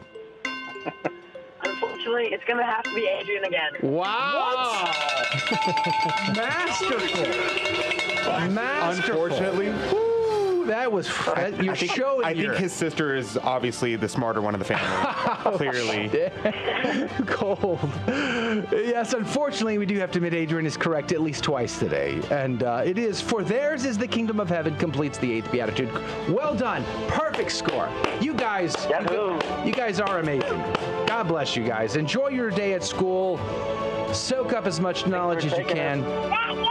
God bless you. Uh, I'm going to put you on hold, but uh, God bless you guys. Have a great day. Hey, that's going to do it for the radio side of our show. Thanks for having a laugh with us. We always enjoy that. Join us in the after show. Let's get to know Pesky Jesuit. He's hanging out with us in studio. We're going to talk to him next. Thank you for joining us on Your Catholic Drive Time, where it is our pleasure to keep you informed and inspired. Join us Monday through Friday at the same time, right here on your favorite Catholic radio station. Don't forget to connect with us. Just go to facebook.com forward slash Catholic Drive Time. Again, that's facebook.com forward slash Catholic Drive Time. Be sure to share more than just us today. Share Jesus with everyone you meet. Bye now, and God love you.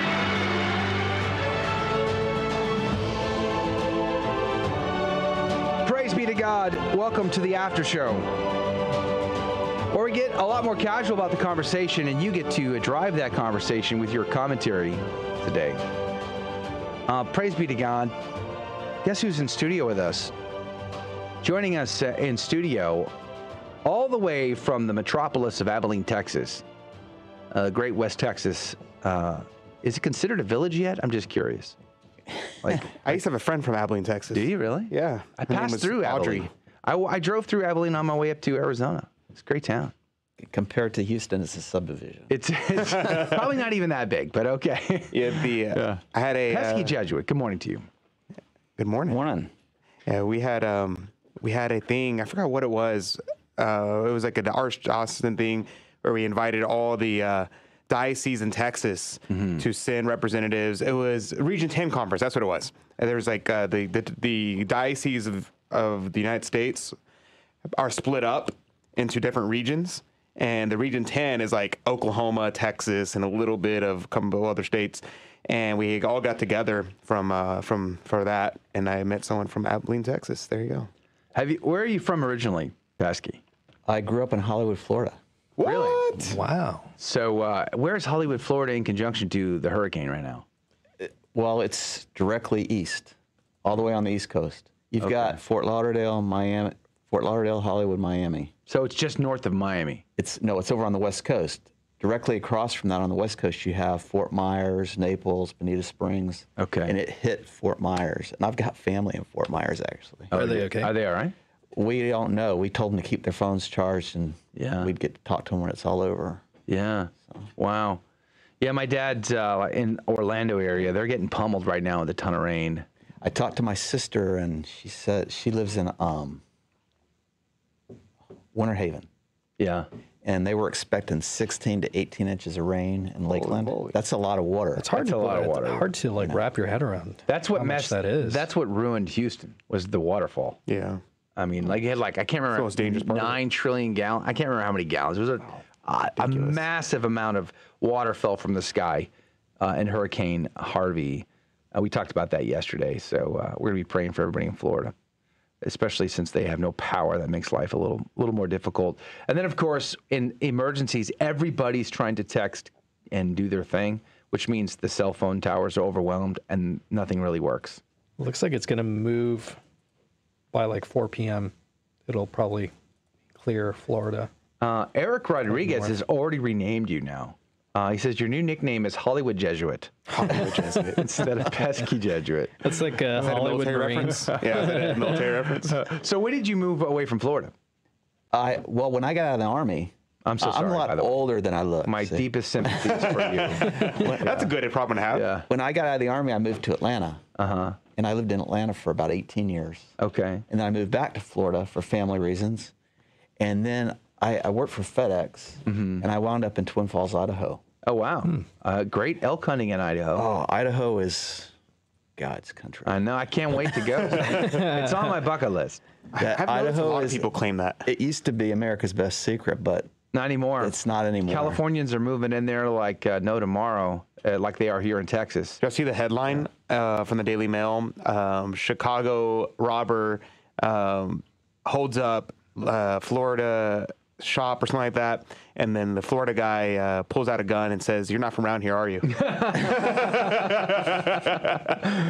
that the guy with the shotgun? I don't know. I just saw a headline. As soon on as he Daily saw Mail. the shopkeeper, he ran off. Yeah, Yeah, he's a shotgun guy. Yeah, the shotgun That's guy. hilarious. Well, it's better that than being shot to death and dying. Yeah. Uh, so there's that. All right. So you, you get out of the army because you didn't know that there was a Marine Corps. Apparently, I don't know what other excuse you might offer, but nonetheless, you, you went through the army. Uh, someone's got to, I suppose. But uh, uh, you go to Atlanta. You move to Florida. You're in Idaho. How do you end up in Texas? I married a traveling nurse when I was in Idaho. And then she took you, you to. Texas. Well, I, the thing I love about Idaho more than anything, yeah, except my wife. That's where I became. that's where I became Catholic. Good distinctions, yeah. That's where I found the faith. Oh wow! And um, I went to a great church. Uh, It was called St. Edward's the Confessor. Mm-hmm. And um, you know, I know there's a lot of between the old and the new. I don't think I ever met a more reverent Mm-hmm. and and God loving priest in the new order. Sure.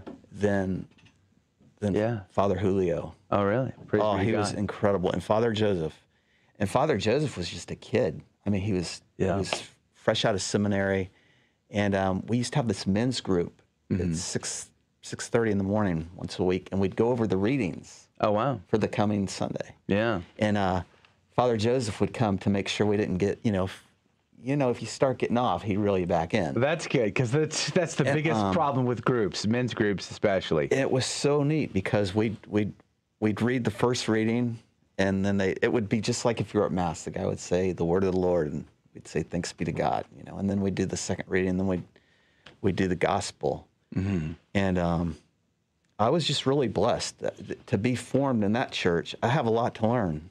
I'm Of s- course. I'm so Yeah. new. Who doesn't? Yeah. But um,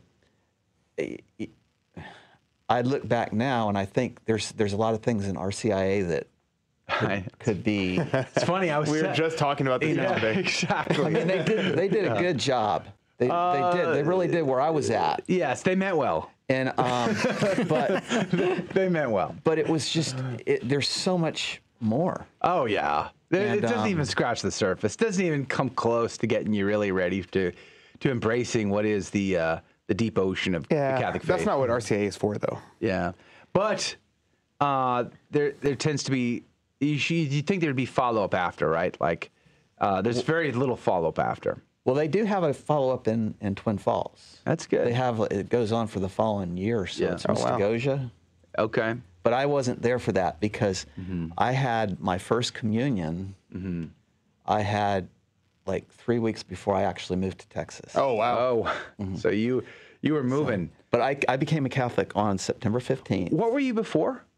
I was a Seventh Day Adventist. No kidding. That must have been incredibly hard. Given uh, it's funny, I have a I have neighbors who are Seventh Day Adventists, and they're trying to evangelize us.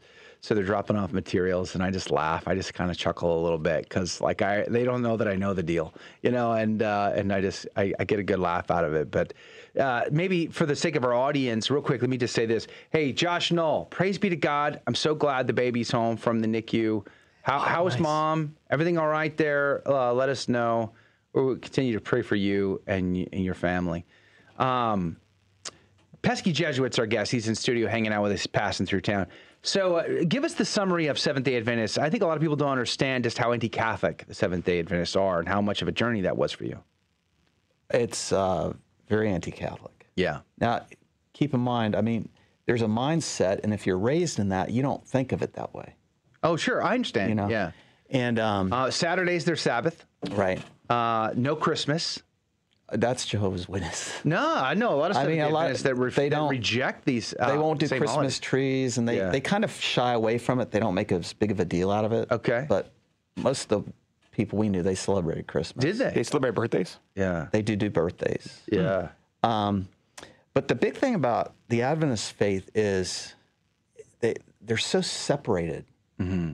Now, in a, in a sense, that's a good thing. You know, They're you don't want to be like- like the world, but they they Would you call them extreme Pentecostals? no No. they're they're their own cup of tea.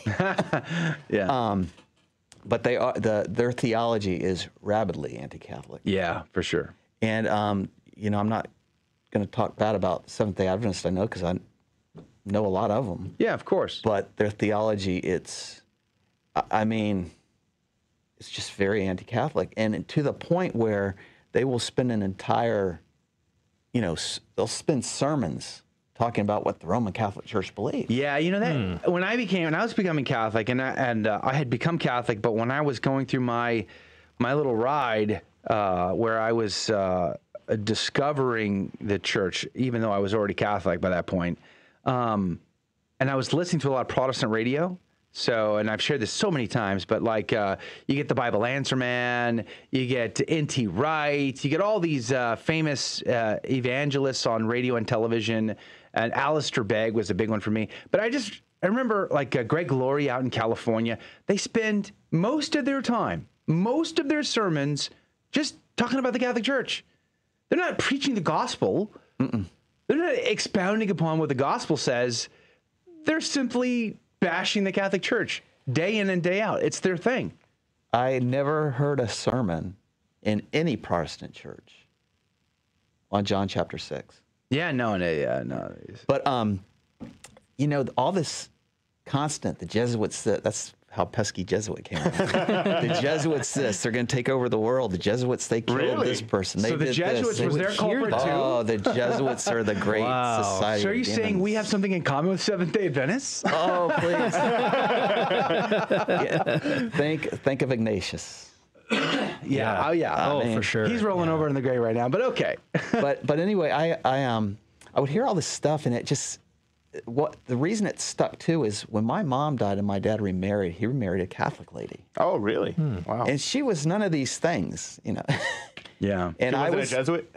I was back in Atlanta visiting my, my parents, and I had gone down. My dad at this time he was pretty sick, and he was actually in a in a facility because he couldn't. My mom just couldn't manage him, and I'd gone downstairs to do something, and as I passed the bookshelf, there was a book there called the Sunday Missal.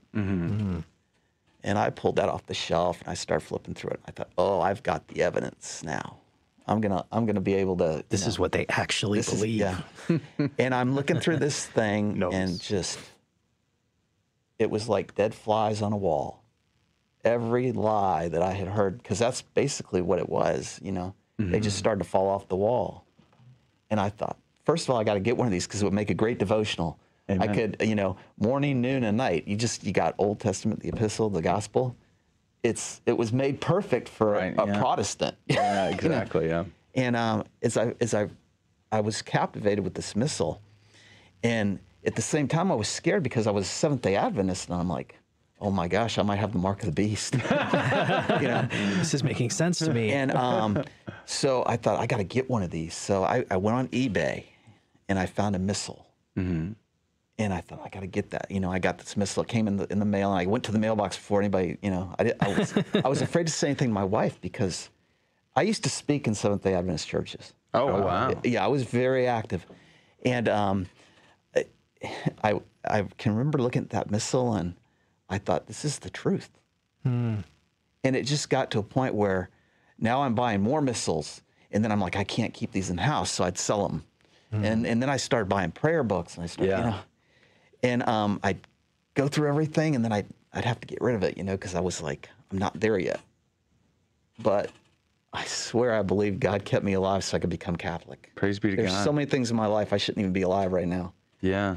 and I'm here because God wanted me in His church. Amen. Jesus started a church. He didn't start denominations. Right. He started one church, and it, you just can't pick up a Bible and say, "Oh, this is what it means." They're all wrong after centuries. Right. And start your own thing. Yeah. What was it like to? Uh, what was it like to switch from worshiping on Saturday to Sunday? Uh, you know, I used to tell, I t- and I still tell my wife, you go to mass on Saturday.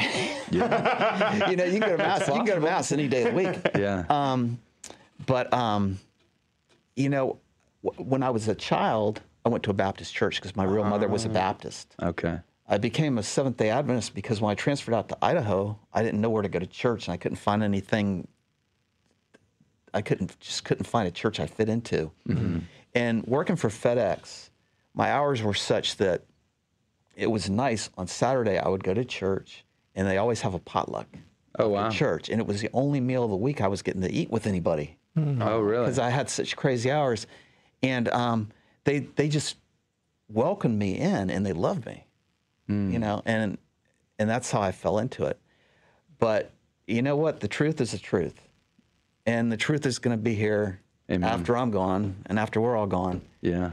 And with just with so many Protestants I talk to, the the idea is, it's right now. I'm saved, and glory hallelujah. But there's no reality to it. There's no when the rubber hits the road. Yeah. You Yeah, know, that's true. And people talk about a relationship with Christ, and and you know this relationship is going to save you. Well, that's for the Bible only people. That's nowhere in the Scripture.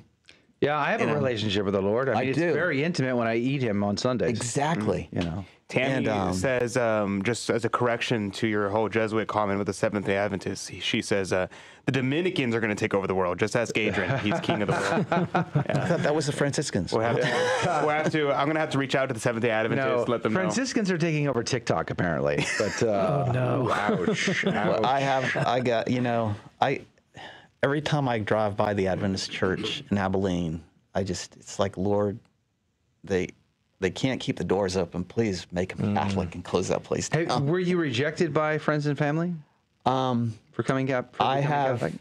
up until about three weeks ago. I had one friend from the Adventist church that would still speak to me, but we had a little discussion about Ellen White and her writings, and I haven't heard from them since. Ellen White is the founder. She is the the main. Yeah. Mm. There were there were there was a small group, but she's the main head. Yeah. She's their pope, by the way. That's intriguing um, that they're She's- founded by a woman. She's the infallibility because everything, all their theology has to pass through the lens of her writings. Interesting. If Yeah. if if I pick up the Bible and I read something like in John chapter 6 where Jesus says over and over, "Truly, truly, my flesh is real meat. You know, my is real food." And verily, verily, and amen and amen to these things. And he, you know, it's it's not just one place; it's over and over. Right. But if if Ellen White, her writings and her theology doesn't match, then they'll reject Jesus- the clearest things Yeah. for Ellen White's right, and and but Yeah. they don't see that. No, I They're- mean, you know, they're blind to People that. are a people are a product of their training and their upbringing.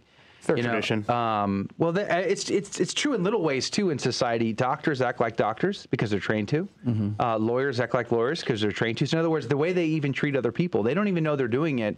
Uh, but doctors will treat other people in a certain way based on their training and behavior. I and lawyers do the same thing. I, everybody does this. We're all used to doing this because of our training, we don't. We do it without thinking about it. So Protestants, they just they've never asked the questions. They've never even questioned their own theology.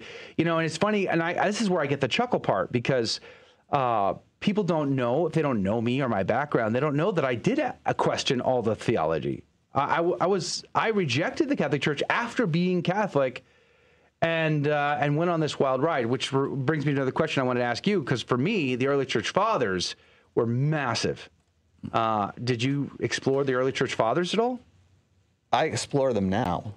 um, not even, but not during your your No, conversion. That's impressive because most people that's what they say. Yeah, at the time all this was happening, I had I had left FedEx when we went to uh, Oregon. Mm-hmm. My wife had taken a, an assignment in Oregon. We went there and we ended up staying there, and I ended up getting a job in the hospital. Oh wow! And at the, the when I was becoming, th- this is after this is before we went back to Twin Falls because we were in we were in Twin Falls. I was an Adventist. We went to Oregon, and that's that's where I started getting interested. And then I became Catholic when I went back to Twin Falls. Okay. So um, when we were in Oregon and I worked at the hospital, I kept getting Catholic patients, and and they kept hiring new Catholics. You know, I mean, it was like people that did the job I did. There was like three three new hires, and they were all Catholic. Oh wow! And uh, you know, here I am. You know, I'm a closet Catholic, and with my missal. Yeah. And um, what really got me was number one, I, I the real presence. Yeah, yeah, that was. I mean, me you too. cannot read John six and Yeah. with, just be honest. What does it say? Right. you Yeah. know. But um, the catechism. hmm I read the catechism cover to cover. The, JPC catechism, catechism. The catechism and Council Trent is phenomenal. Mm-hmm. As a matter of fact, I gave I gave one of those to a guy from my men's group in Abilene because we're doing we're getting ready to do a thing on the Eucharist. Dope.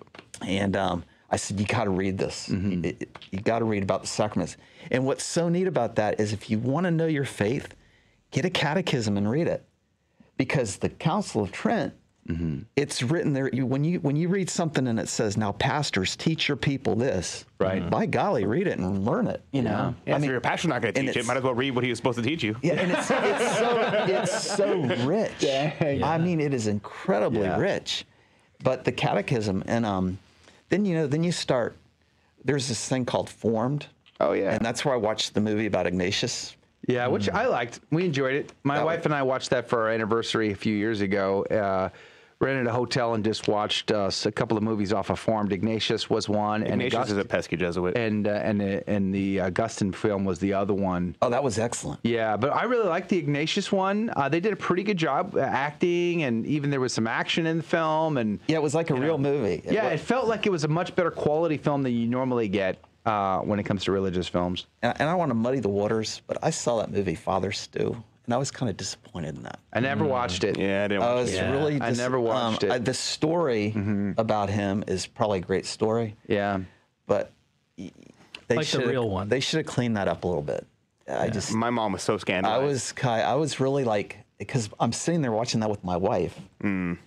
and and bad optics. I was just like, whoa. What is your wife? She's a Seventh Day Oh, Adventist. she's Seventh Day Adventist. Yeah. So uh, how? Okay, well, how's the tension then? It's much less now. Praise be to God. I will say that the only thing we've ever fought about in our entire marriage was me becoming Catholic. Mm. I can imagine. I, I, mean, you know, we've never fought about money. We've never fought about anything. It's a big deal. It's a good thing to fight about, I Yeah. guess. But, you don't both care. um, It could ruin a marriage. for sure. I'll, t- I'll tell you. I think, and I think her fear is that I'm losing him. Mm. See. But now it's like on Sunday morning. There's a mm. certain point in the morning. If I'm not out of the house, she goes, "Are you going to be late?" Hmm. So you know, and I mean, my wife loves me. I love my wife. Praise be to God. And um, I think that she has seen that, you know. Can I say this on the radio? Come hell or high water. Oh, she Yeah, said sure. it already. well, I don't know. I know we're behind. you can hit a beat button or something. Too late now. Um, yeah, yeah, it's but, fine. You know, I think she she knows that he really believes this, Yeah. and there's a reason he really believes this. Yeah, amen. I was listening to whenever I was um, I got super into reading on I mean when I was in high school I wanted to watch everything that was on apologetics ever so I was listening to the Coming Home Network yeah.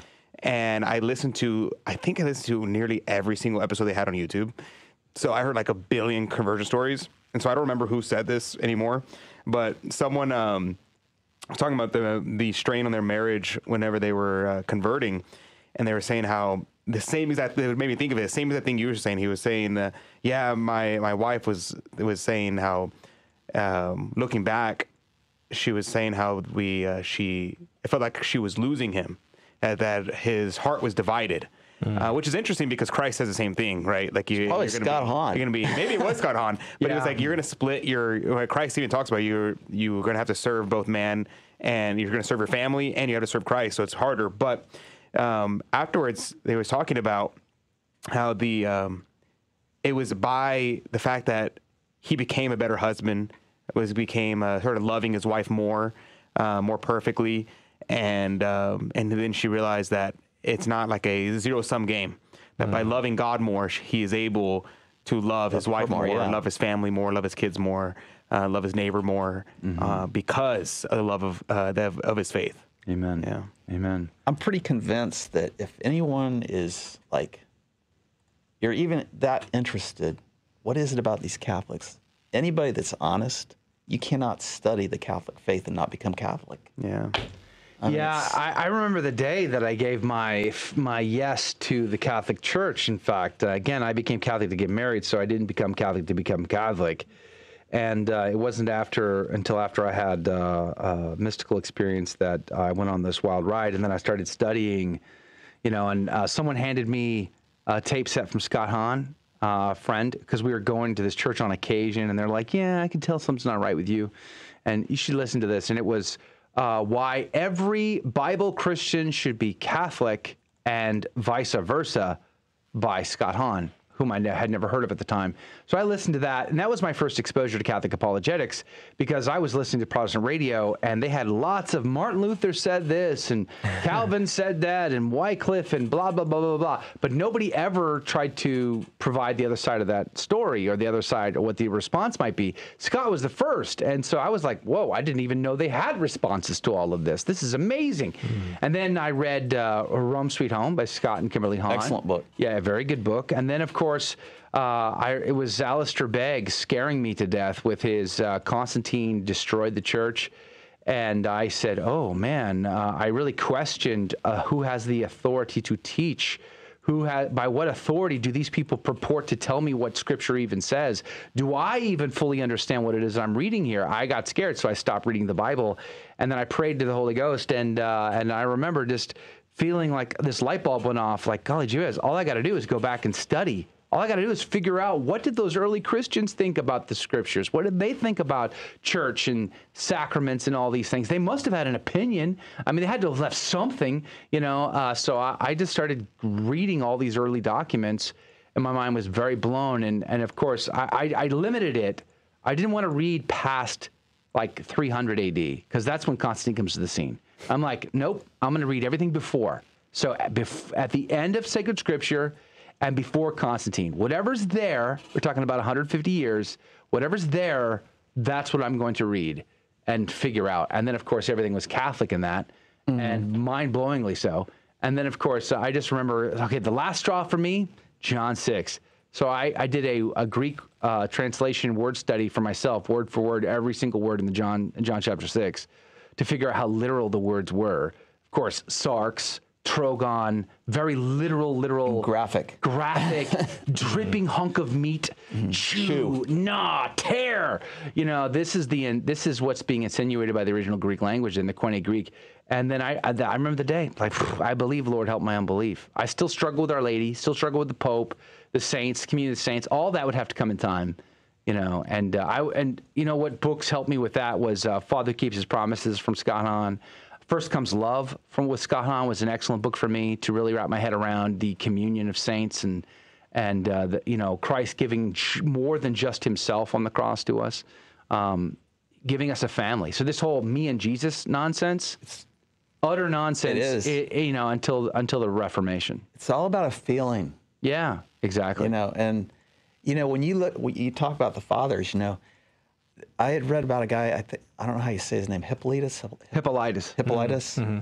And how they, I think he was burned at the stake or something. You know, and what these what these people endured, and I, I, I would read about what happened to these people. And, Yeah. You know, I'm like, would I do that for Adventism? Would I do that for? Would for- you be allowed? Would, I do that for going to, be church on? Saturday? Yeah. You know. Oh, speaking of which, you get the Didache, which was the first document I ever read from the early church. The, the Didache.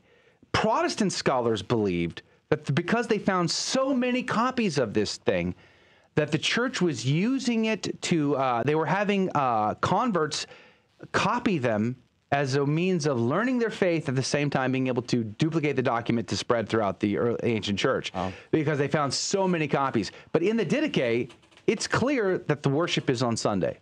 The Sunday is the new Sabbath. And that is written in the mid 50s AD. Well, you know, the whole Sabbath thing, at this at this point, looking back, I, I was never a Sabbath keeper as a Seventh day Adventist. Mm. I was an Adventist tradition keeper. Oh, I see. You hmm. see, you, you, you were a trap. If you're going to be, and, and I, I'm saying this lovingly, mm-hmm. if you are going to be a Sabbath keeper, you are not a Sabbath keeper by going to a Seventh day Adventist church. Mm-hmm. You need to find a group of Orthodox Jews. Mm. You need to go with them, and you need to keep the Sabbath Right. with the traditions that, that make it keeping the Sabbath. Yeah. Or you're not a Sabbath keeper. Oh, that's a good point. Yeah. Which you, shouldn't do, by the way. Then, Don't do this. and then, no, no. Oh, but then what about what about all the other Sabbaths? Yeah. You know, it's not just a weekly Sabbath. Yeah. So there, there's a lot more to. Yeah. It, when you start to when you start to think about what keeping the Sabbath means means, Yeah. it, you can't pick and choose out of the Old Yeah. Testament. It's just But like the you re- diet. you really have to destroy St. Paul's writing, though, if you're going to embrace all these Jewish traditions and ideas and pretend like they're now they're they're still They're okay still- to do. yeah. I mean, We good can't grief. even do them. I mean, no temple. St. Yeah, no Paul. temple, no I mean, if there's one theme in all of St. Paul's writings, it's stop being a Judaizer. and do you know how Peter would come after you? Yeah. If you decide to start slaughtering, you know, animals in your backyard. you know, can you imagine? They have plans. You know, They they are hoping to reinstate the Some are. sacrificial system. The red heifer. or- I mean, when I say they, I don't know how many they are, but they, we should get they back on the show. Uh, they uh, do want to reinstate the, the priesthood and they hope to rebuild the temple and slaughter animals again. So I guess we'll see. That's but, why I don't uh, respect most uh, sects of Judaism is because a lot of them. Because I was talking to this rabbi one time because he was helping teach a class I was in, and he was saying how most uh, rabbis today do not pray for the rebuilding of the temple anymore. Really? Yeah. And That's it's, oh, it's only very particular sects of Judaism that still do that. And I'm like, why should I even like have respect for the current iteration of Judaism today if you're not even wanting to keep the law? Yeah. Do you know how many Catholics I've even seen who are donning prayer shawls? Yeah, I've seen that a few and times. and trying to pretend as though this is There's a somehow fascination okay. with this historical yeah, antiquarianism, like Pius X commi- com- condemned. You know, I, I, I- I love in sacred scripture and studying sacred scripture how you can go back and look at Jewish understanding of the Old Testament mm-hmm. and find its typological fulfillment in the New. Like, I love that part. Like, better understanding how those feast days actually work. So, you read the Targums, you read all of these ancient Jewish documents outside of scripture, and they give you a fuller understanding. But how do you then take that to translate? Well, where's my prayer shawl? Where's my phylacteries? Yeah. Where's my? I like, you know uh, I, mean? I say I we like should Aristotle, bring but I'm not gonna wear a toga. Phylacteries. What's that? I think we should bring back phylacteries. Oh, you think so, huh? I think they're cool, don't you think? I Well, like there go, Aristotle, but I'm not going to wear a toga. Is all I'm saying. Hey now, hey now. Uh, togas for Catholic Drive Time tomorrow on Friday. What do you say, guys? you go ahead, man. I should bring. I should wear one. That'd be, That'd be fun. awesome. That'd be hilarious. Bring your sheet. Pesky Jesuit, good to talk to you, my friend. Thanks for stopping in today. Oh man, this has been awesome. Yeah, you God guys are bless you. just. This show is awesome. I'm sorry, I meant Hollywood Jesuit. Uh, my bad. My bad. Sorry, Eric. Hey, God bless you guys. Uh, thanks for hanging out with us today. I really enjoyed our conversations. Uh, do keep the Houck family in your continued in your prayers. They have an uphill battle with the FBI here, and the FBI was apparently uh, targeting some other pro-lifers in front of a clinic. I think yesterday or something. At any rate, we'll bring you more news and stories tomorrow and great conversation. Do share us with a friend. We'd be very grateful to you. God bless you. God love you, and we'll see you then. Jesus is a friend of mine. Jesus is my friend. Jesus is a friend of mine. I have a friend in Jesus.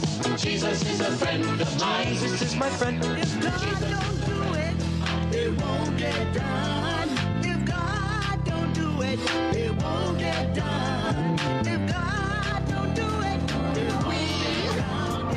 What up with that?